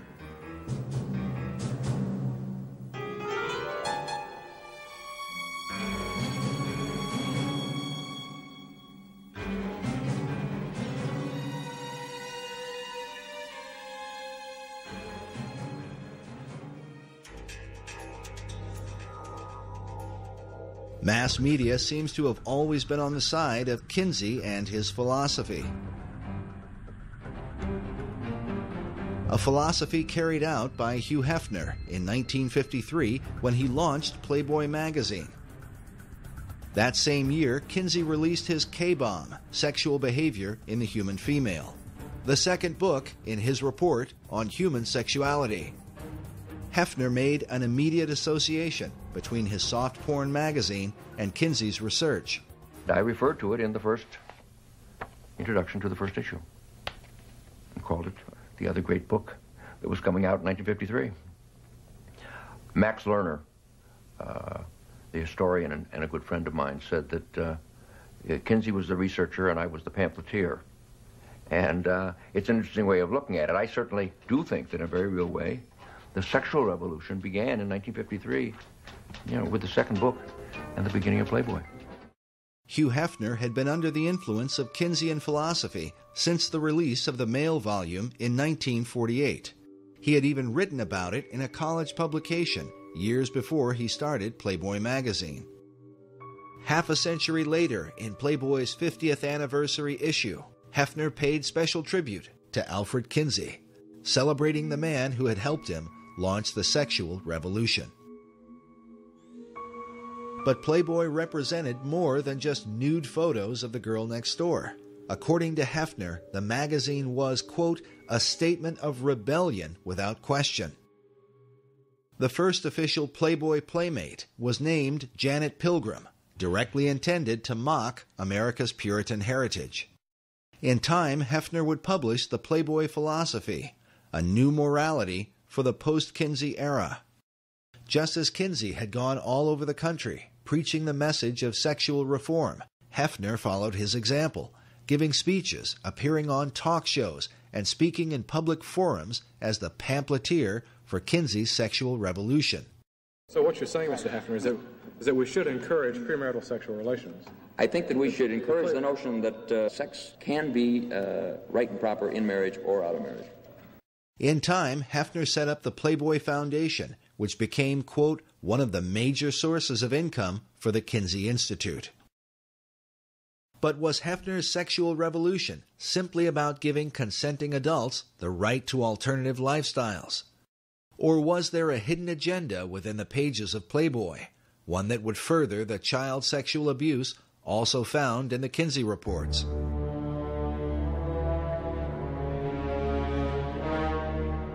In 1983, Dr. Judith Reisman was appointed by the Juvenile Division of the Department of Justice to investigate the images in Playboy, along with Penthouse and Hustler magazines.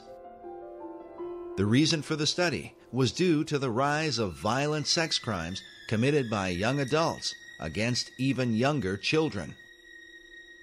Those who were committing these crimes were often found to have copies of Playboy and Penthouse magazines in their possession. But what could be in these magazines, often thought to be harmless, that would compel young teenage boys to commit violent sex crimes against other children?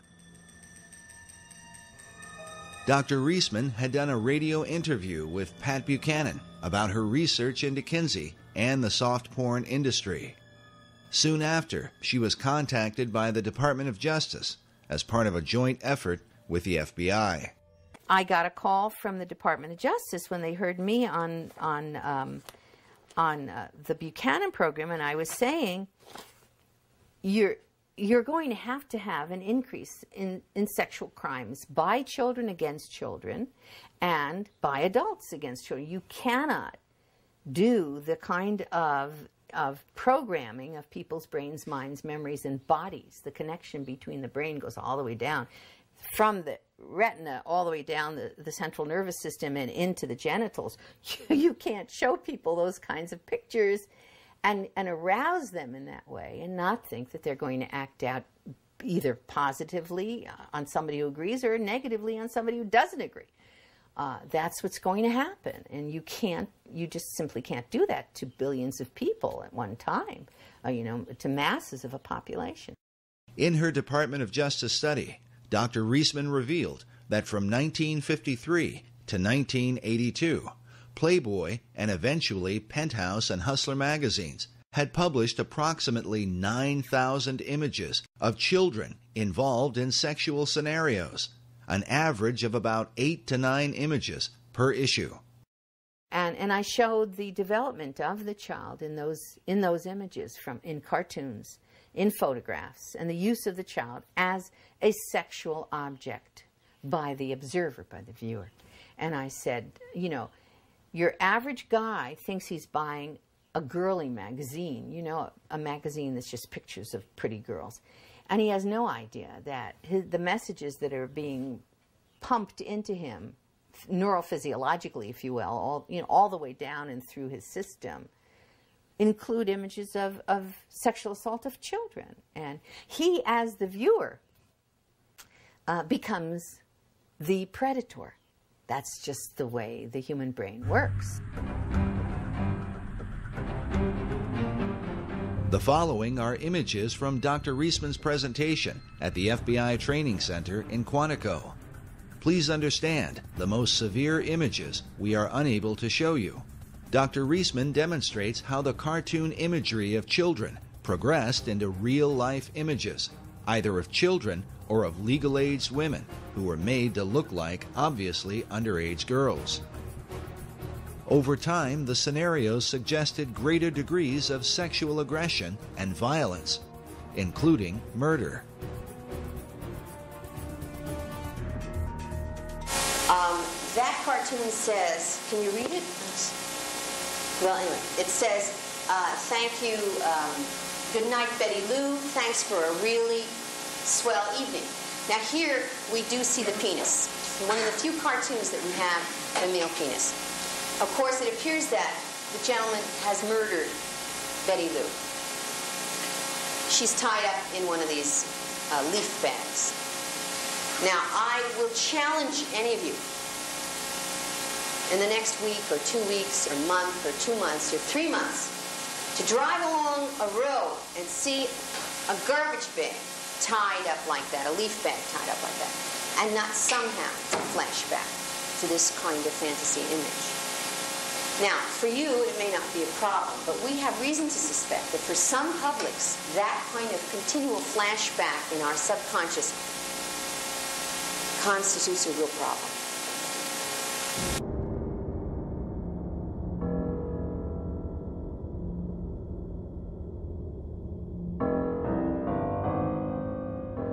Dr. Reisman believes that millions of American men have been conditioned for decades by such imagery often struggling with an addiction that they don't understand and cannot escape. The addiction to porn has now been handed down to America's children, giving their young minds a perverse view of reality and of the relationships between men and women.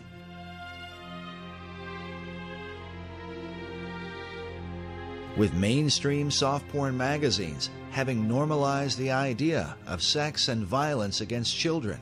Could this be, as Dr. Reisman has taught, the reason for the continued rise of child abductions, child molestation, and even child murder in our country? And are these materials, which are often defended under the First Amendment, the real liberty that America's founding fathers fought and died for? Try something recently read on, uh, I think, Fox News. You know, um, one of the one of the, the newscasters there's got a blurb or an article right now on the internet.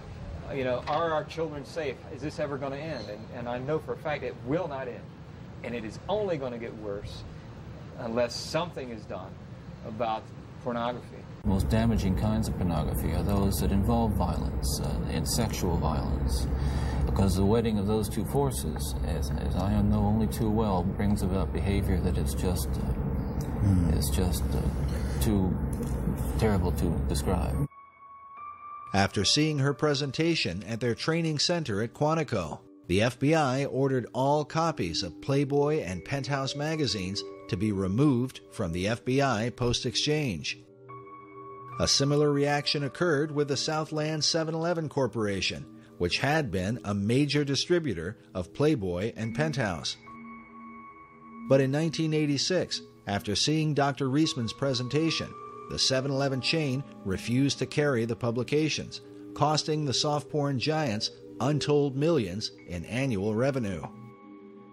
Dr. Reisman herself describes what the FBI and 7 Eleven were really responding to. That what they were getting in their house, what their sons were seeing, what the uncles were seeing, what the boyfriends were seeing, was how to sexually abuse a child and laugh about it. During World War II, the Nazis used cartoons to condition the minds of Germans against the Jewish people creating an exaggerated and comical identity that ultimately led to their persecution and mass murder. Dr. Reisman believes a similar kind of conditioning has happened through the use of cartoon imagery that depict the rape and abuse of children. Children are being sexually assaulted. Uh, they're being they're being uh, trampled on. They're being kidnapped. They're being murdered and I have all of those kinds of cartoons. Some of the following cartoons are disturbing, such as this image from Playboy of an infant child masturbating with a title that reads Getting Off. Not surprisingly, the cartoon supports the Kinseyan view that children are sexual from birth. Children are often shown to be the aggressors, as in this image of a small child speaking to an older man with a candy cane. The caption reads, no, thank you, nice man. I don't want to go for a ride in your car. Why don't we just go up to my place and B A L L? This image from Penthouse has three young girls in conversation.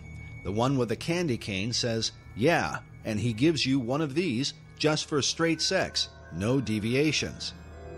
This Playboy image is of a young girl putting her dress back on. She says to the older man in the bathrobe, You call that being molested?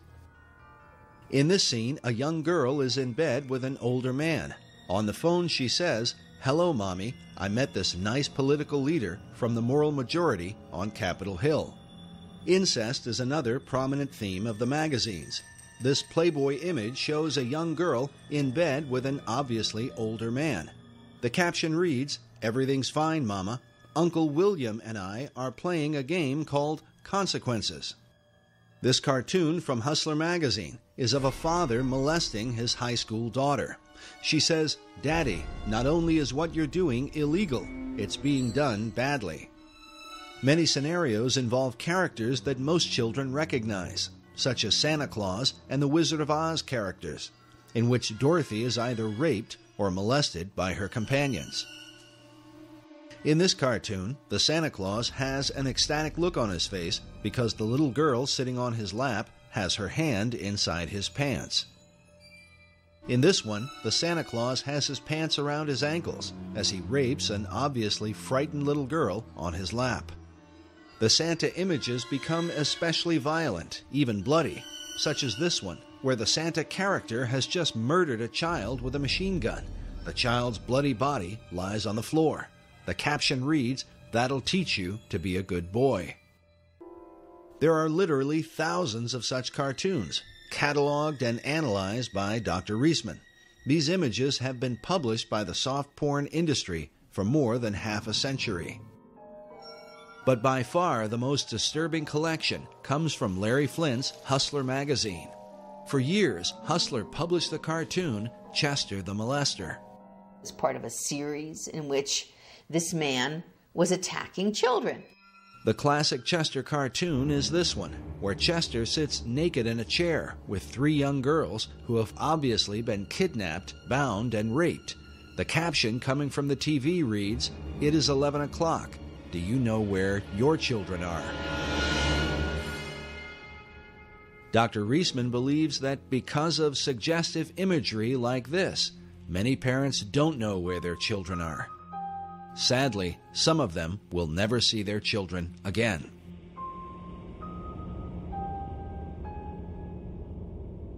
Chester the Molester was the invention of Hustler's head cartoonist, Dwaine Tinsley, shown here in the 1985 documentary, Rated X, where he explains the character of Chester. And Chester's the character that I do for the magazine. Um, have this dirty old guy that would uh, do anything to trap a young girl. When you say young girl, how young do you mean? well, at that particular time, he was after the younger ones, 10, 12. Uh, his idea is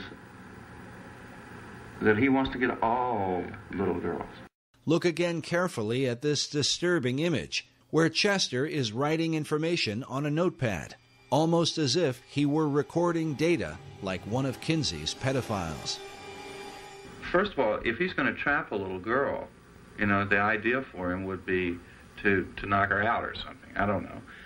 I mean, he didn't have to uh, uh, actually use a club or a bat. He could have smacked her, but just the idea of uh, of the bat is a little goofier. Uh, would better than a baseball bat. I mean, it was just always with him he was going to uh, hit the little girl over the head with trapper hit the little girl with his club and drag her off to his lair, as it were.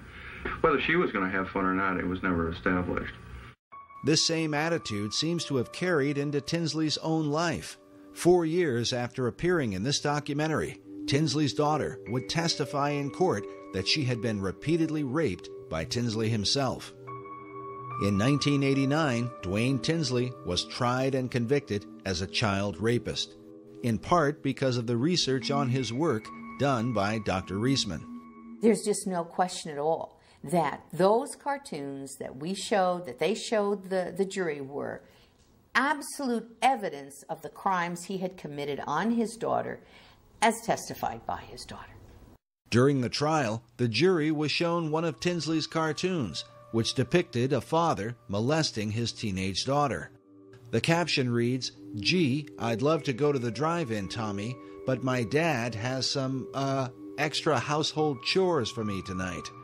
In court, Tinsley's daughter claimed that her father showed her this cartoon and said to her, This is you and me. The Associated Press reported that Tinsley often said you can't write this stuff all the time if you don't experience it. There's no normal human being that can draw those things, that can put that kind of idea out there to the public who is not experiencing that themselves. No, that's just not going to happen. But Tinsley was not alone. His employer, Larry Flynt, was also accused by his daughter, Tonya Flynt Vega, in her book, Hustled, in which she claimed that her father used the Chester the Molester cartoons to introduce her to the idea of sex and then raped her when she was only nine years old. Like many pedophiles, Larry Flynt was never charged with a crime and openly denied his daughter's allegations. Even Hugh Hefner is said to have been guilty of statutory rape. According to biographer Russell Miller in his book, Bunny, The Real Story of Playboy, Hefner himself enjoyed making love to a schoolgirl who had attended his daughter's Sweet 16 birthday party. Miller's evidence was based on the testimony of the staff that worked in the Playboy Mansion at the time. As with Larry Flynt, Hefner was never charged with a crime. A major breakthrough for Hefner's Playboy magazine and child pornographers in general was the film Pretty Baby, starring Brooke Shields a film briefly remembered during the recent controversy over the images of 15 year old Miley Cyrus. Pretty Baby was the story of a 12 year old girl who grows up with a prostitute mother and ends up losing her virginity in a whorehouse. People magazine ran a story saying Brooke Shields, 12, stirs a furor over child porn in films. Playboy featured images from the film, along with an interview with the film's director, Louis Malle.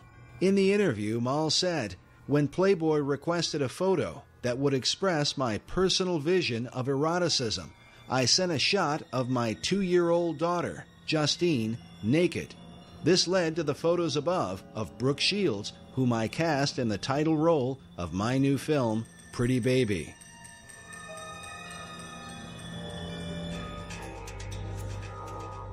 As early as 1971, Reader's Digest published an article titled What Sex Offenders Say About Pornography.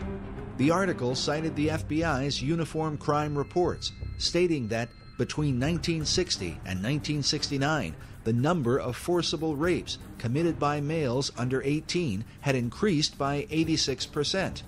It could be concluded that some force impelling towards sex crime has been operating on younger males in the United States.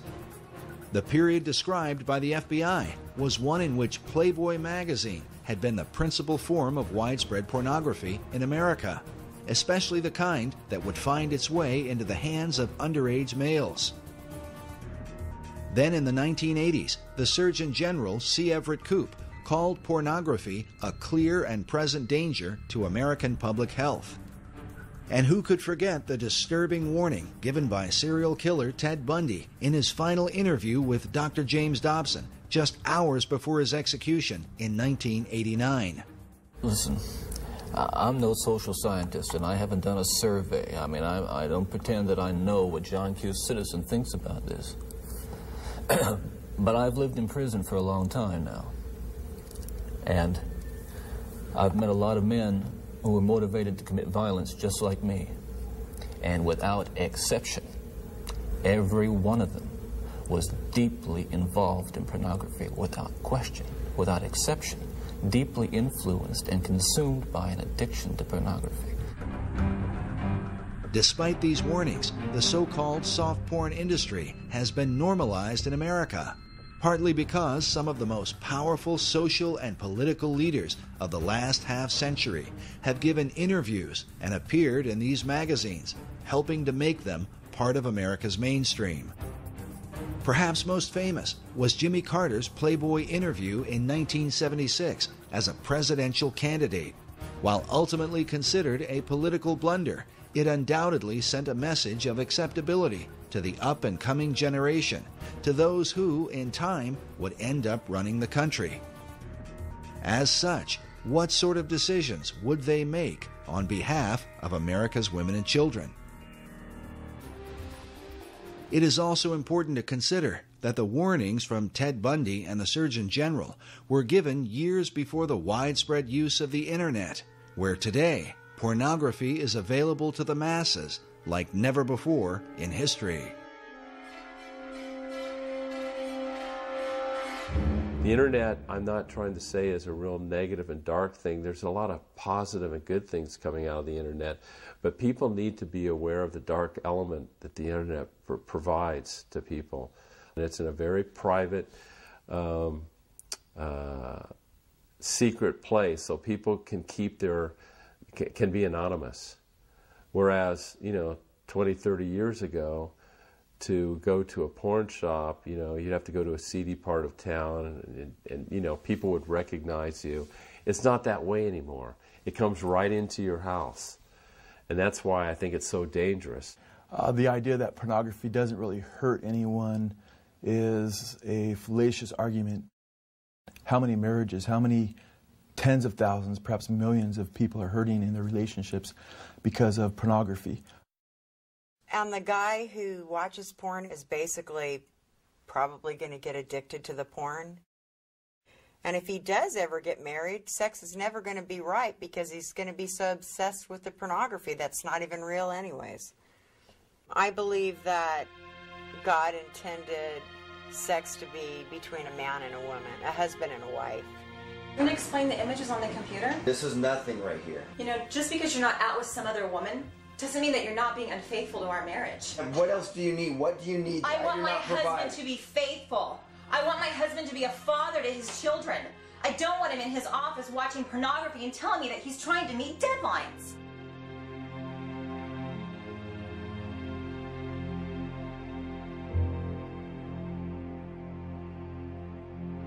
It's said that the greatest myth about pornography is that nobody gets hurt.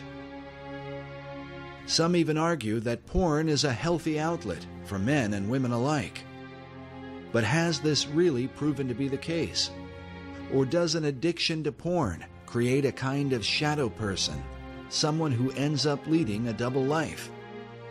One that the rest of those in his world can only wonder about. And when his dark secrets are finally brought into the light, what will be revealed?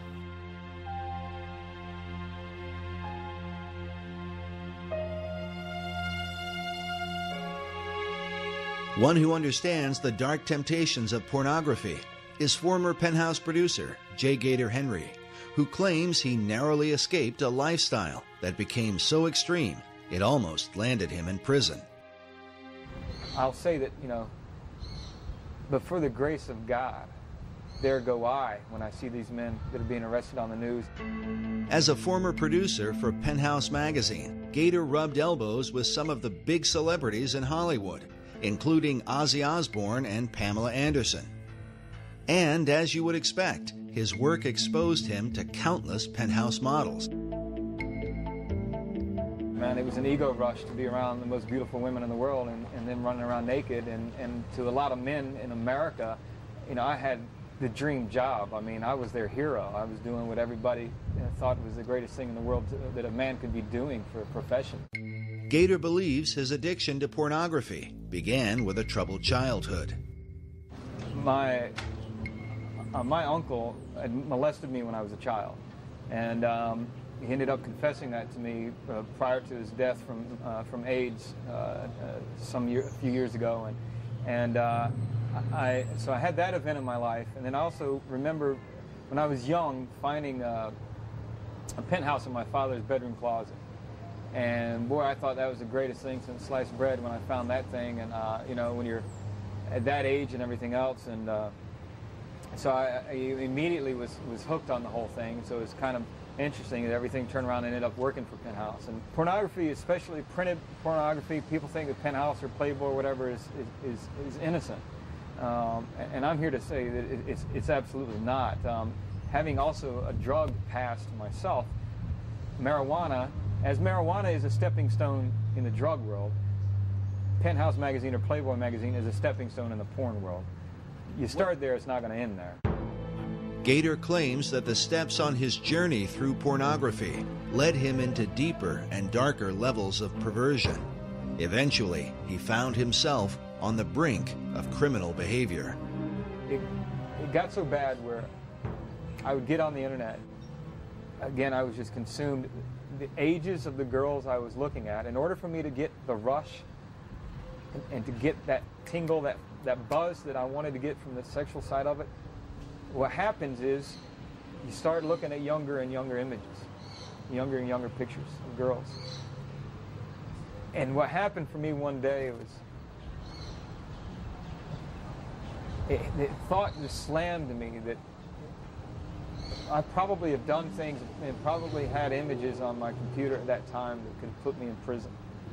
I look at these men who, who abduct these young girls and they molest them and, and, kill them, bury them alive or whatever they do, stab them multiple times and stuff. And, and I know that those men, like me, they didn't wake up. They didn't start off. They didn't grow up as little boys saying, oh, my ambition in life is grow up to be a child molester and killer. And I know for a fact that all the everything in the marrow of my bones, because I've been there, I've walked and lived it, that pornography took them to that place where just your average Joe comes to a place in his mind and in his being where he's so consumed with that fulfillment of that lustful thought and pleasure, with that thought that he has to fulfill it and the fantasy becomes so overpowering and so all-consuming. And those are the guys that go out and take these girls.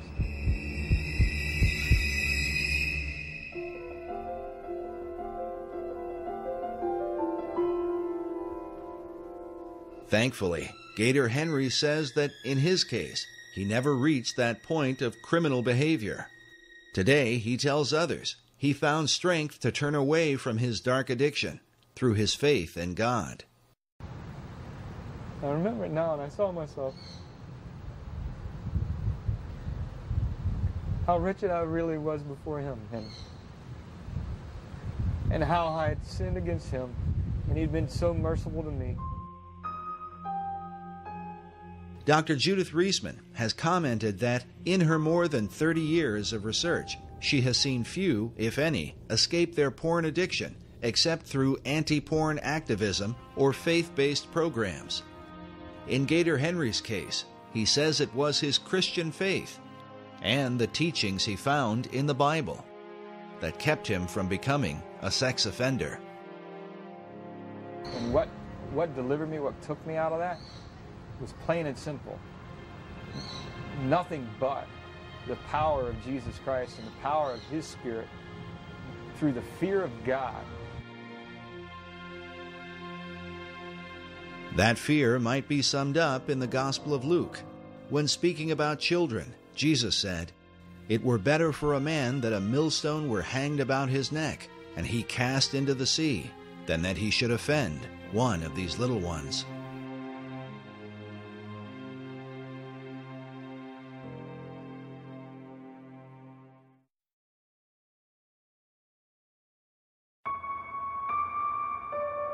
In 1994, an underground film was released titled Chicken Hawk Men Who Love Boys. The film documented the lives of certain members of NAMBLA, the North American Man Boy Love Association. The word chicken hawk is a reference in the gay community to older men who prey upon underage children, boys in particular. I have uh, all my life been attracted to younger boys. Where are the boys? Boys are everywhere. You don't have. There's no one single place. There's the the mall, the supermarket, the street, the sports event. I can look out my window and see the school, and it's like uh, Moses uh, looking across to the promised land. He kept uh, making excuses to pull up his shirt and show me his belly in a highly flirtatious way to any ordinary boy lover such as myself, uh, a very exciting and appealing way. Now, the Queen's Vernacular is was considered to be the number one uh, gay lexicon dictionary for, for homosexual language. 12,000 words in this, in this dictionary. And you open it up, and uh, the, their, um, their mascot is, as was the mascot in The Advocate, a boy, uh, Boy Scout in this case. And uh, the, the, the 12,000 words that are in here uh, all relate to the in the, the, the in language, the, what, the cant that's being used within the, within the homosexual movement uh, amongst homosexuals. Uh, what do all these words mean? Well, they had a certain meaning for the homosexual world that, that the straight world didn't understand. It was it's another language. Very interesting because, you know, 12,000 words, well, when Webster compiled his American Dictionary to distinguish us from the English, that had 12,000 new words as well. So that we were distinct from, from the English, from, from Samuel Johnson's dictionary. Uh, Webster said, no, we're a unique people. He had 12,000 words to show that. So this dictionary says, we are unique people. We have 12,000 words to show that. And some of those words we compiled in, in uh, we did an analysis of these words. And um, we found that the number one quoted word, the, the, in order of importance, was a chicken, which relates to boys. Chicken, a young recruit, any boy under the age of consent, heterosexual, fair of face, and unfamiliar with homosexuality. There are 254 words there that deal with sex with boys. One of the most disturbing sequences in the film Chicken Hawk were a series of interviews done with parents whose children were being openly preyed upon in a small community by this pedophile, a man named Leland Stevenson. He is shown openly preying upon underage children, looking for an opportunity to molest them. So what happened? What? Made the phone ring. Oh, you made the phone ring. Oh, well, let's see how you did that. Oh, jeez, you're just tired, Clark. You. He was so eager to tell me when his birthday was, and he was going to be 15 in less than a month on the 1st of December. And uh, this is what life is about. This is what real life is about. I would say that he was in bloom, and that's it. The flower is uh, responding to warmth. That is, I as a human being am bathing him in a certain kind of celestial warmth. The frustration of the parents interviewed in this film is not unlike that of parents across America who live in fear of seeing their children violated by sexual predators. I'd probably kill him. Honest, I probably would. If he would have bothered my kids. You know, they prey on these children and how they can stand up and tell people what they believe in and that there's nothing that you can do about it. I don't understand our judicial system, that's for sure. Chicken Hawk, Men Who Love Boys, stands as a powerful indicator of the damage done to America in its post Kinsey era. We remind the audience that the group NAMBLA, who are the focus of this film, claim to take their inspiration directly from Alfred Kinsey. And while many in the gay community would deny that homosexuality is linked to pedophilia, it is worth noting that the very founder of the gay rights revolution, Harry Hay, consistently advocated the inclusion of NAMBLA in gay pride parades. In fact, here is a photo of Hay marching in a parade with the words NAMBLA walks with me written on his back. Needless to say, Hay had been persuaded by his chief influence, Alfred Kinsey.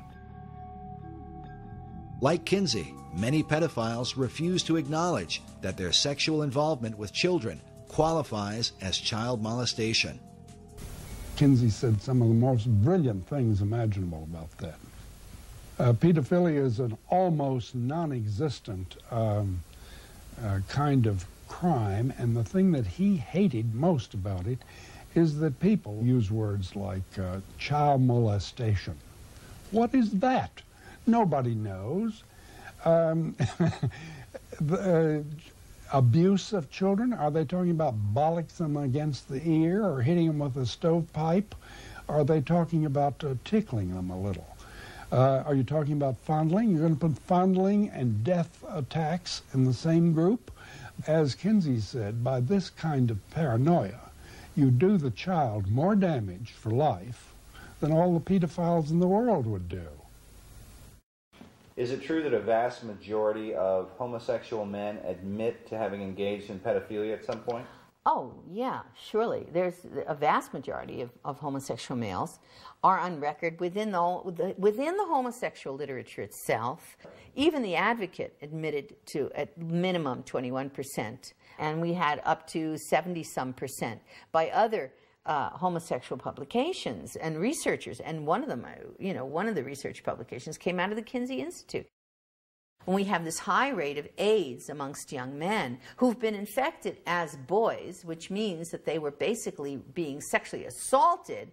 This is what I consider mass murder when you're talking about thousands of boys who have been molested by men who end up with AIDS. And we have a statement by one of the, in, in the advocate, by one of the uh, leaders in the homosexual movement who says uh, these boys are being used as sex toys. He says, by, he says, I know that by many homosexual males. He says they don't seem to think it matters. It doesn't matter to them. Uh, because they're perceiving of these boys as sexual toys and they're assuming that the boys, quote, like it. Well, it's back the same old business if she says no, no, no, but she really means yes, yes, yes, but it's applied to young boys.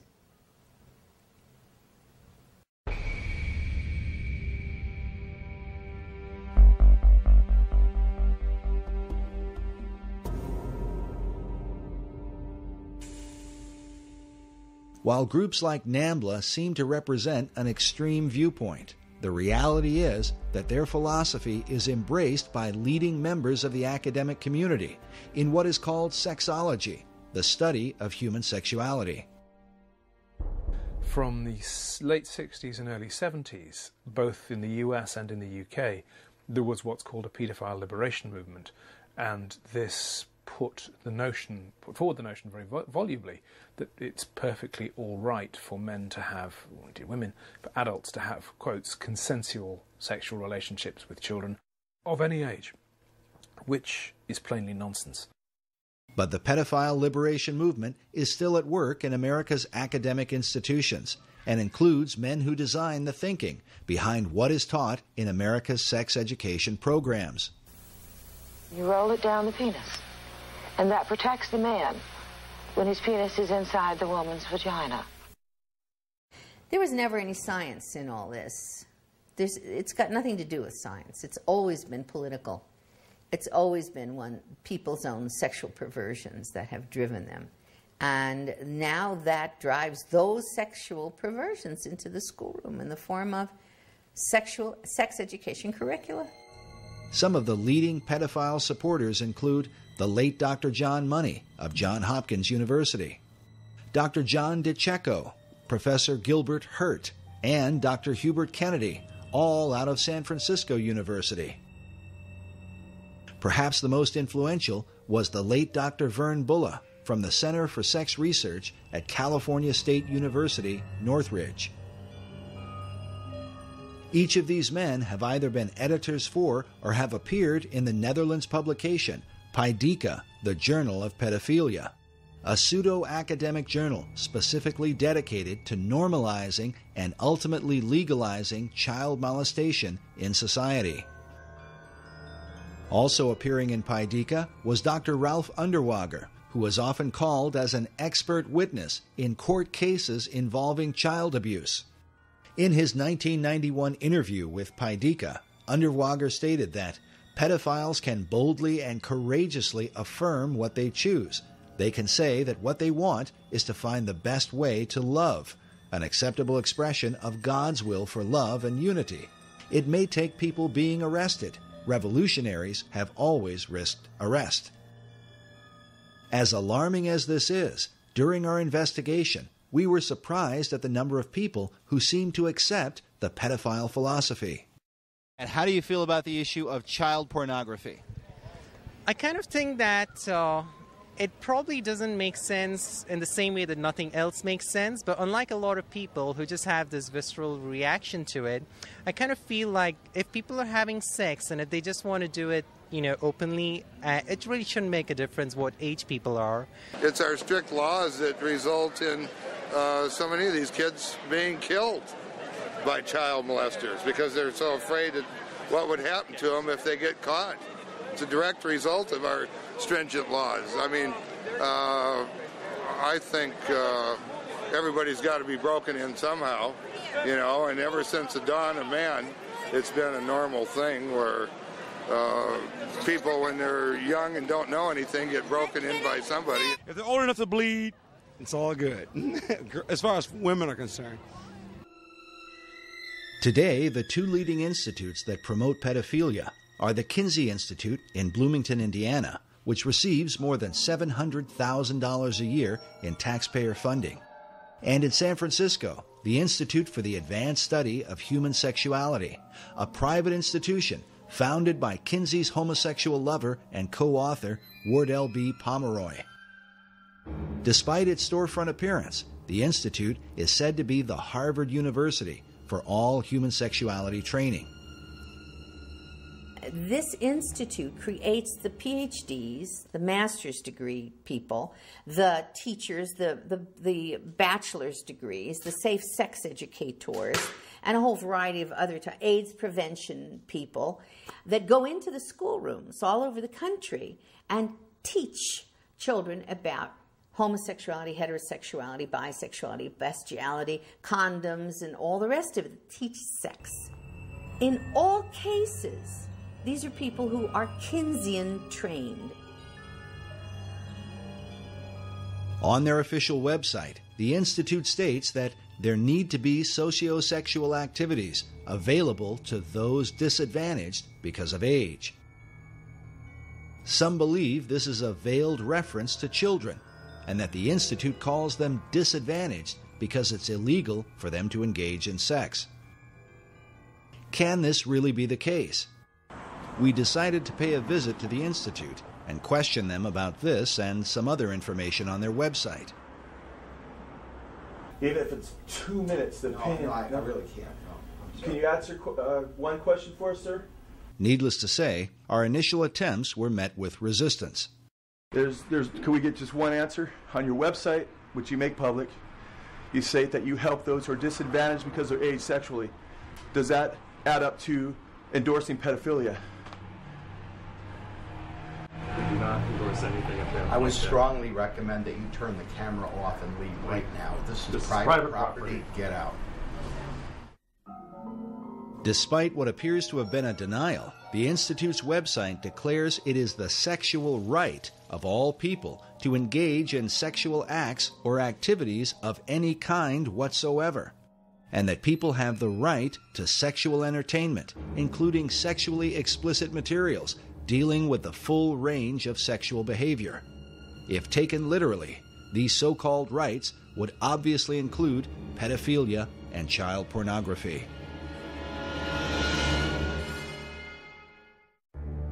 Beyond all this, the Institute's founding director, Wardell Pomeroy, wrote the book Boys and Sex, in which he promoted the idea of boys having sex with animals, such as a dog, a horse, or a bull. Pomeroy also stated that incest between adults and younger children can prove to be a satisfying and enriching experience.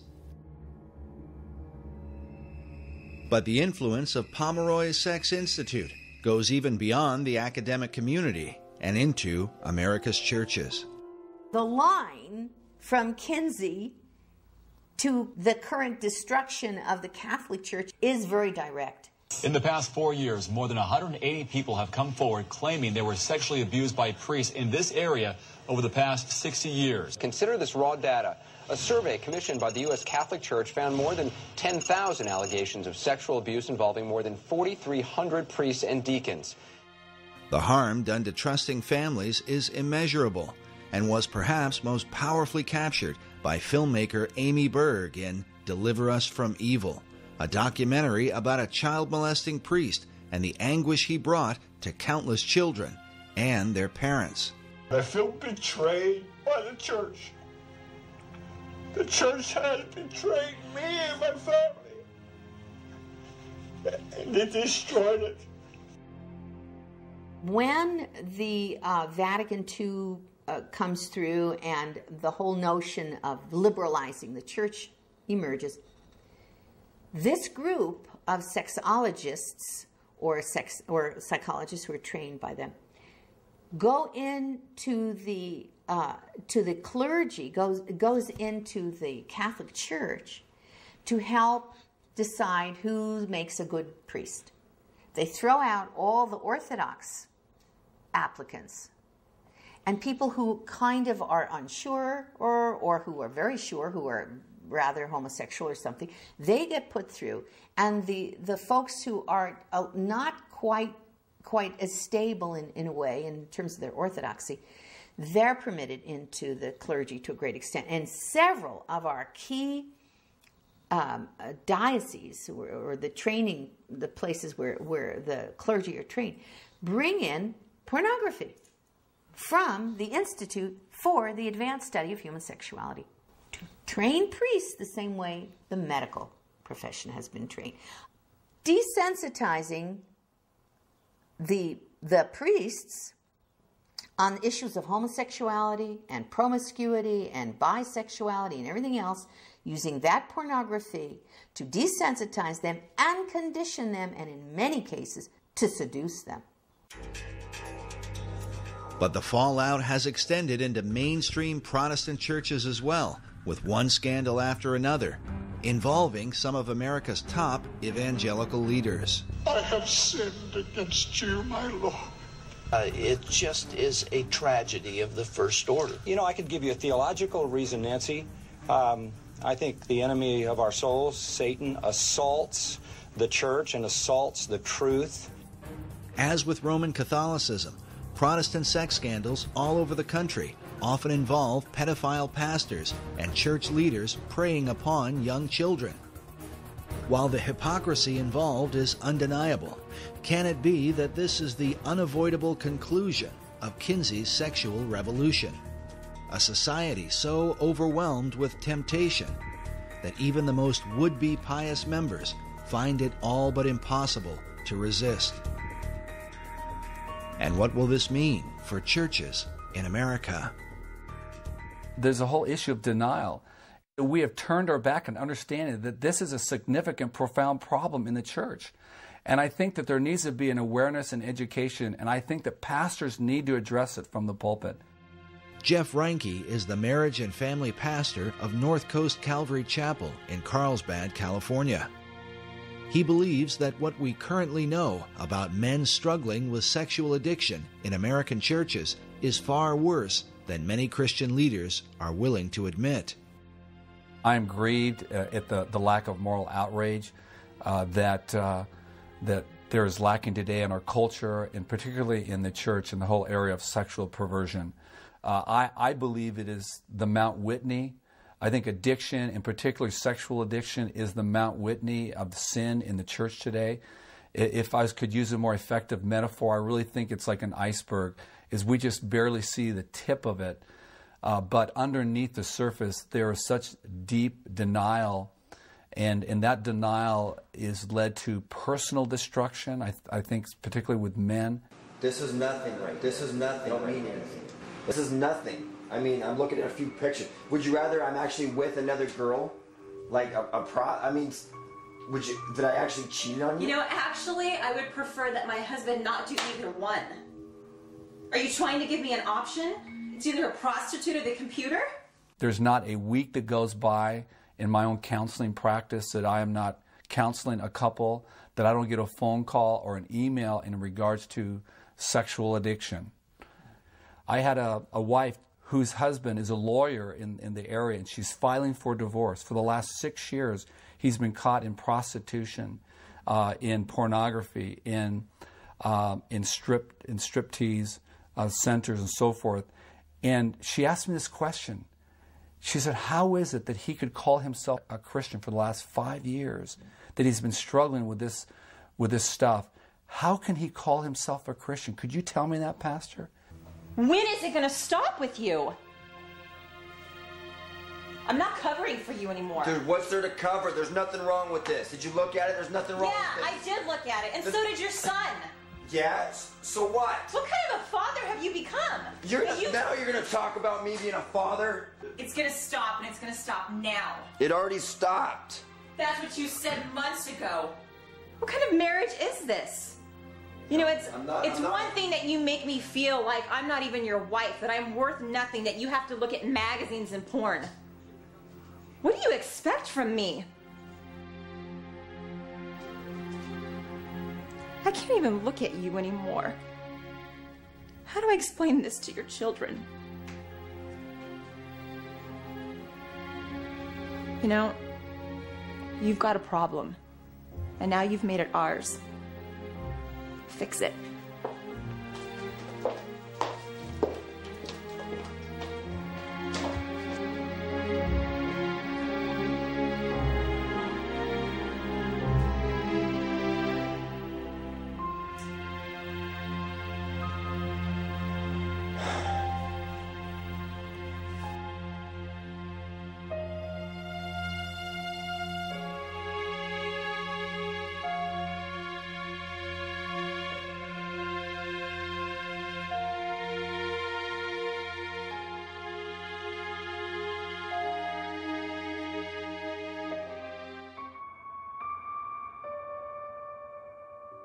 With so much devastation affecting America at many levels, the question is why hasn't something been done about Kinsey's dark legacy?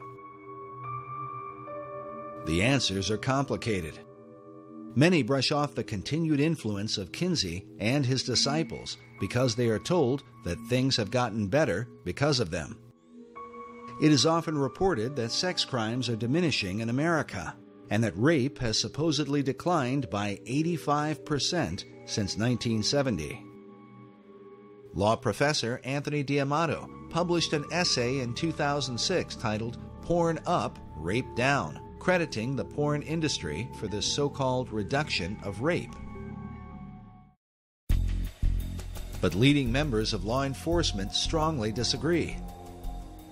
Denver Police Lieutenant James D. Ponzi is a Regis University professor whose research on crime statistics has been presented at Harvard University and published in police journals across the country.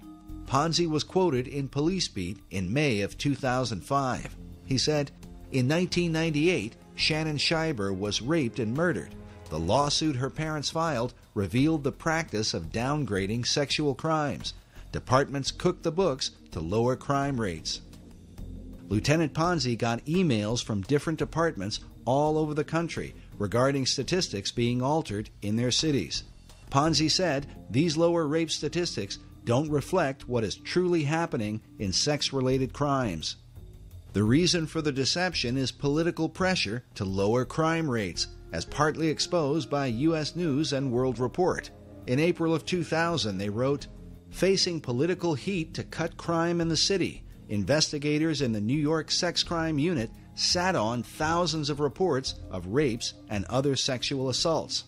Police Captain Rich Costello stated that the way crime was solved was with an eraser. In that same year, it was also reported that the FBI conducted a limited investigation and discovered that PPD had failed to report between 13,000 and 37,000 major crimes. Lieutenant Colonel Dave Grossman is a West Point psychology professor and Pulitzer Prize nominee. He is a renowned expert in human aggression and co author of the book Stop Teaching Our Kids to Kill. On crime statistics, he says, the downturn in violent crime in the U.S. in the 1990s is very deceptive.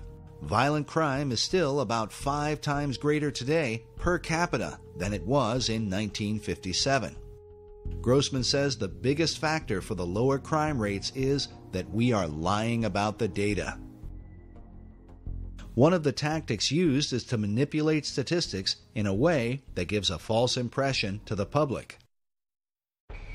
For example, at the beginning of this film, we told you that some 58,200 children are abducted each year by non family members. This report from the Department of Justice goes on to say that only 115 of these are stereotypical kidnappings. But they define stereotypical kidnapping to include children who are held for ransom or transported a distance of 50 or more miles. The report goes on to say that of the 58,200 children abducted, about half of the victims were sexually assaulted. While most people will be left thinking only about 115 kids, the reality is that at least 29,000 children are kidnapped and raped in America each year. The report also says that this is an underestimate. Researchers like Lieutenant James Ponzi, who we spoke with during our investigation, believe that the real number is much higher than anyone is able to document. As parents and guardians, we should consider again carefully the words of former prosecutor Ann Bremner. And we also see in a lot of these kidnapping and death cases recently by sex offenders that your child can be lost in just an instant. So I think you have to be vigilant at all times. Be vigilant at all times.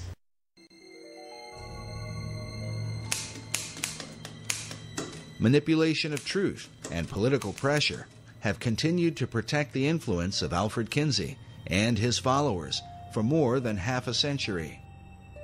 In the 1980s, the Reagan administration developed a commission to investigate the influence of pornography.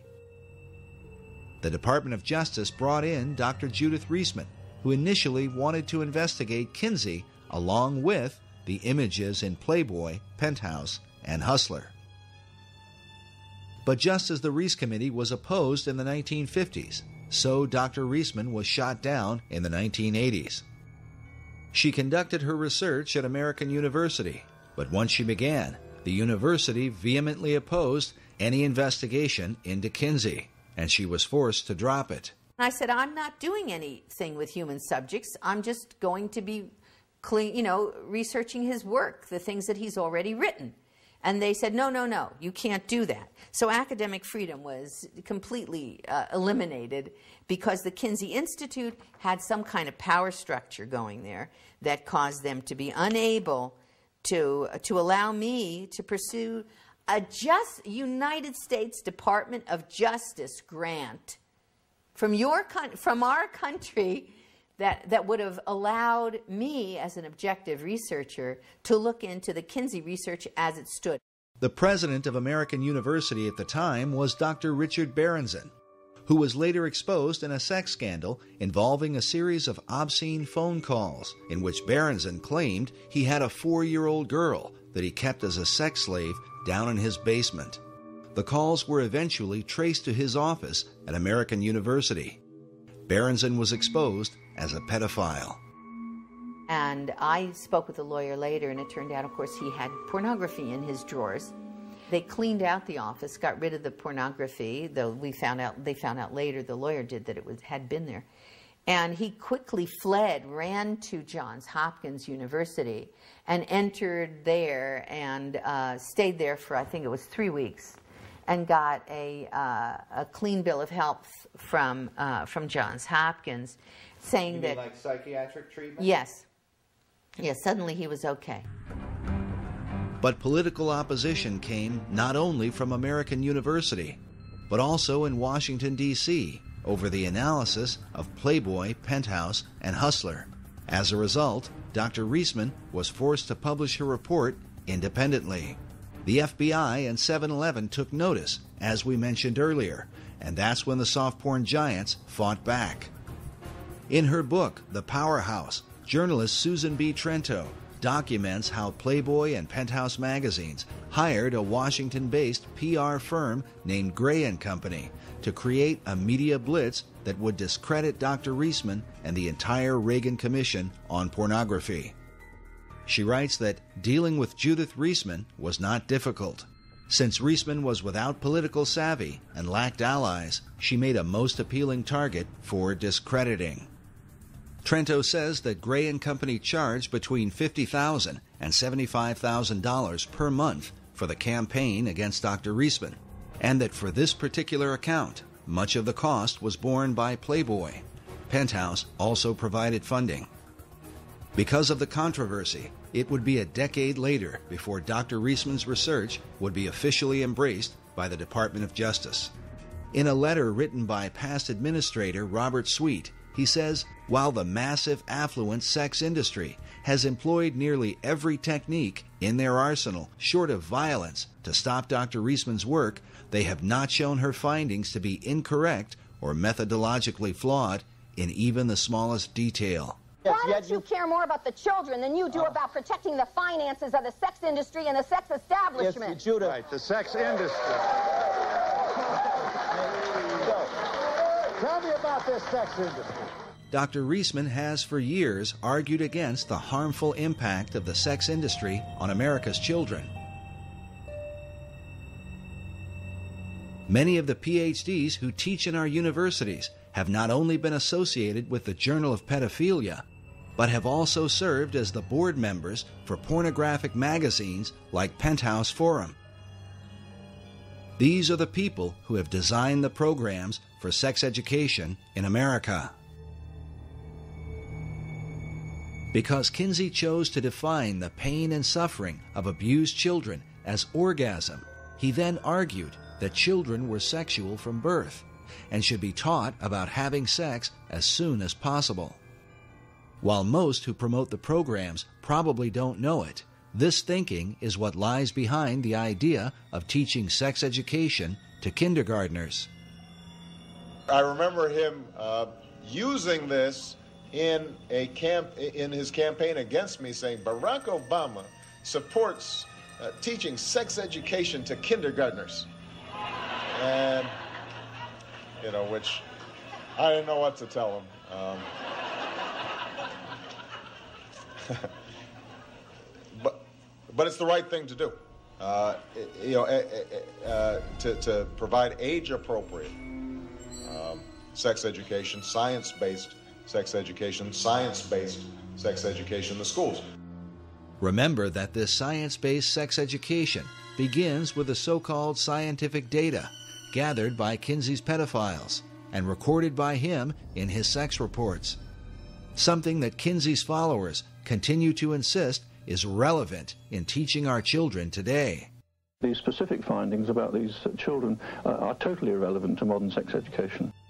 Consider again this image of a teacher showing what appears to be six and seven year old girls how to use a condom. Who will this seven year old be using a condom with?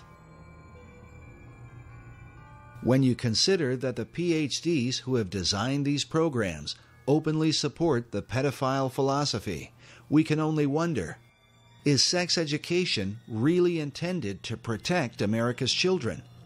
Or to condition them for seduction at the hands of a child molester?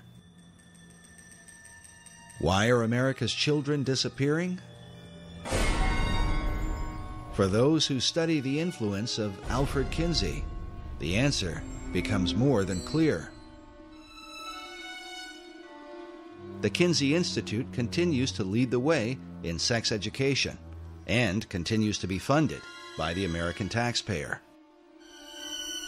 Dr. Reisman believes the Institute should come under an official investigation, something she was prevented from doing during her time at the Department of Justice. The Kinsey Institute was so frightened that the truth would come out. Uh, that time it was Reinisch, and then later it would be Bancroft, that they, they threatened lawsuits to everybody. And they pulled out every stop. They put the arm on everyone politically and in, in institutionally. Their Rockefeller grants, their money, their funding from all kinds of other people would put, be pulled into play to stop Reisman from looking at the information that was right out there that belongs in the in the hands of the American public so that the American public can make their own decisions about whether this is true, whether I'm wrong and, and I should be uh, sued or put in jail or something, fine. Or whether they're wrong and we need to have a proper investigation so that the American public knows the truth about our history and how come we're getting to where we are. We are where we are in terms of uh, the kinds of violence that are taking place in society and violence to children.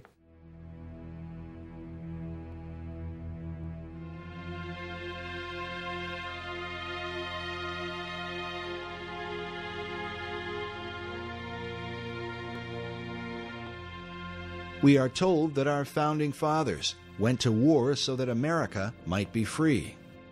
But how they would respond, we can only wonder if they could see our country today and witness how we now define that original liberty for which brave men fought and died.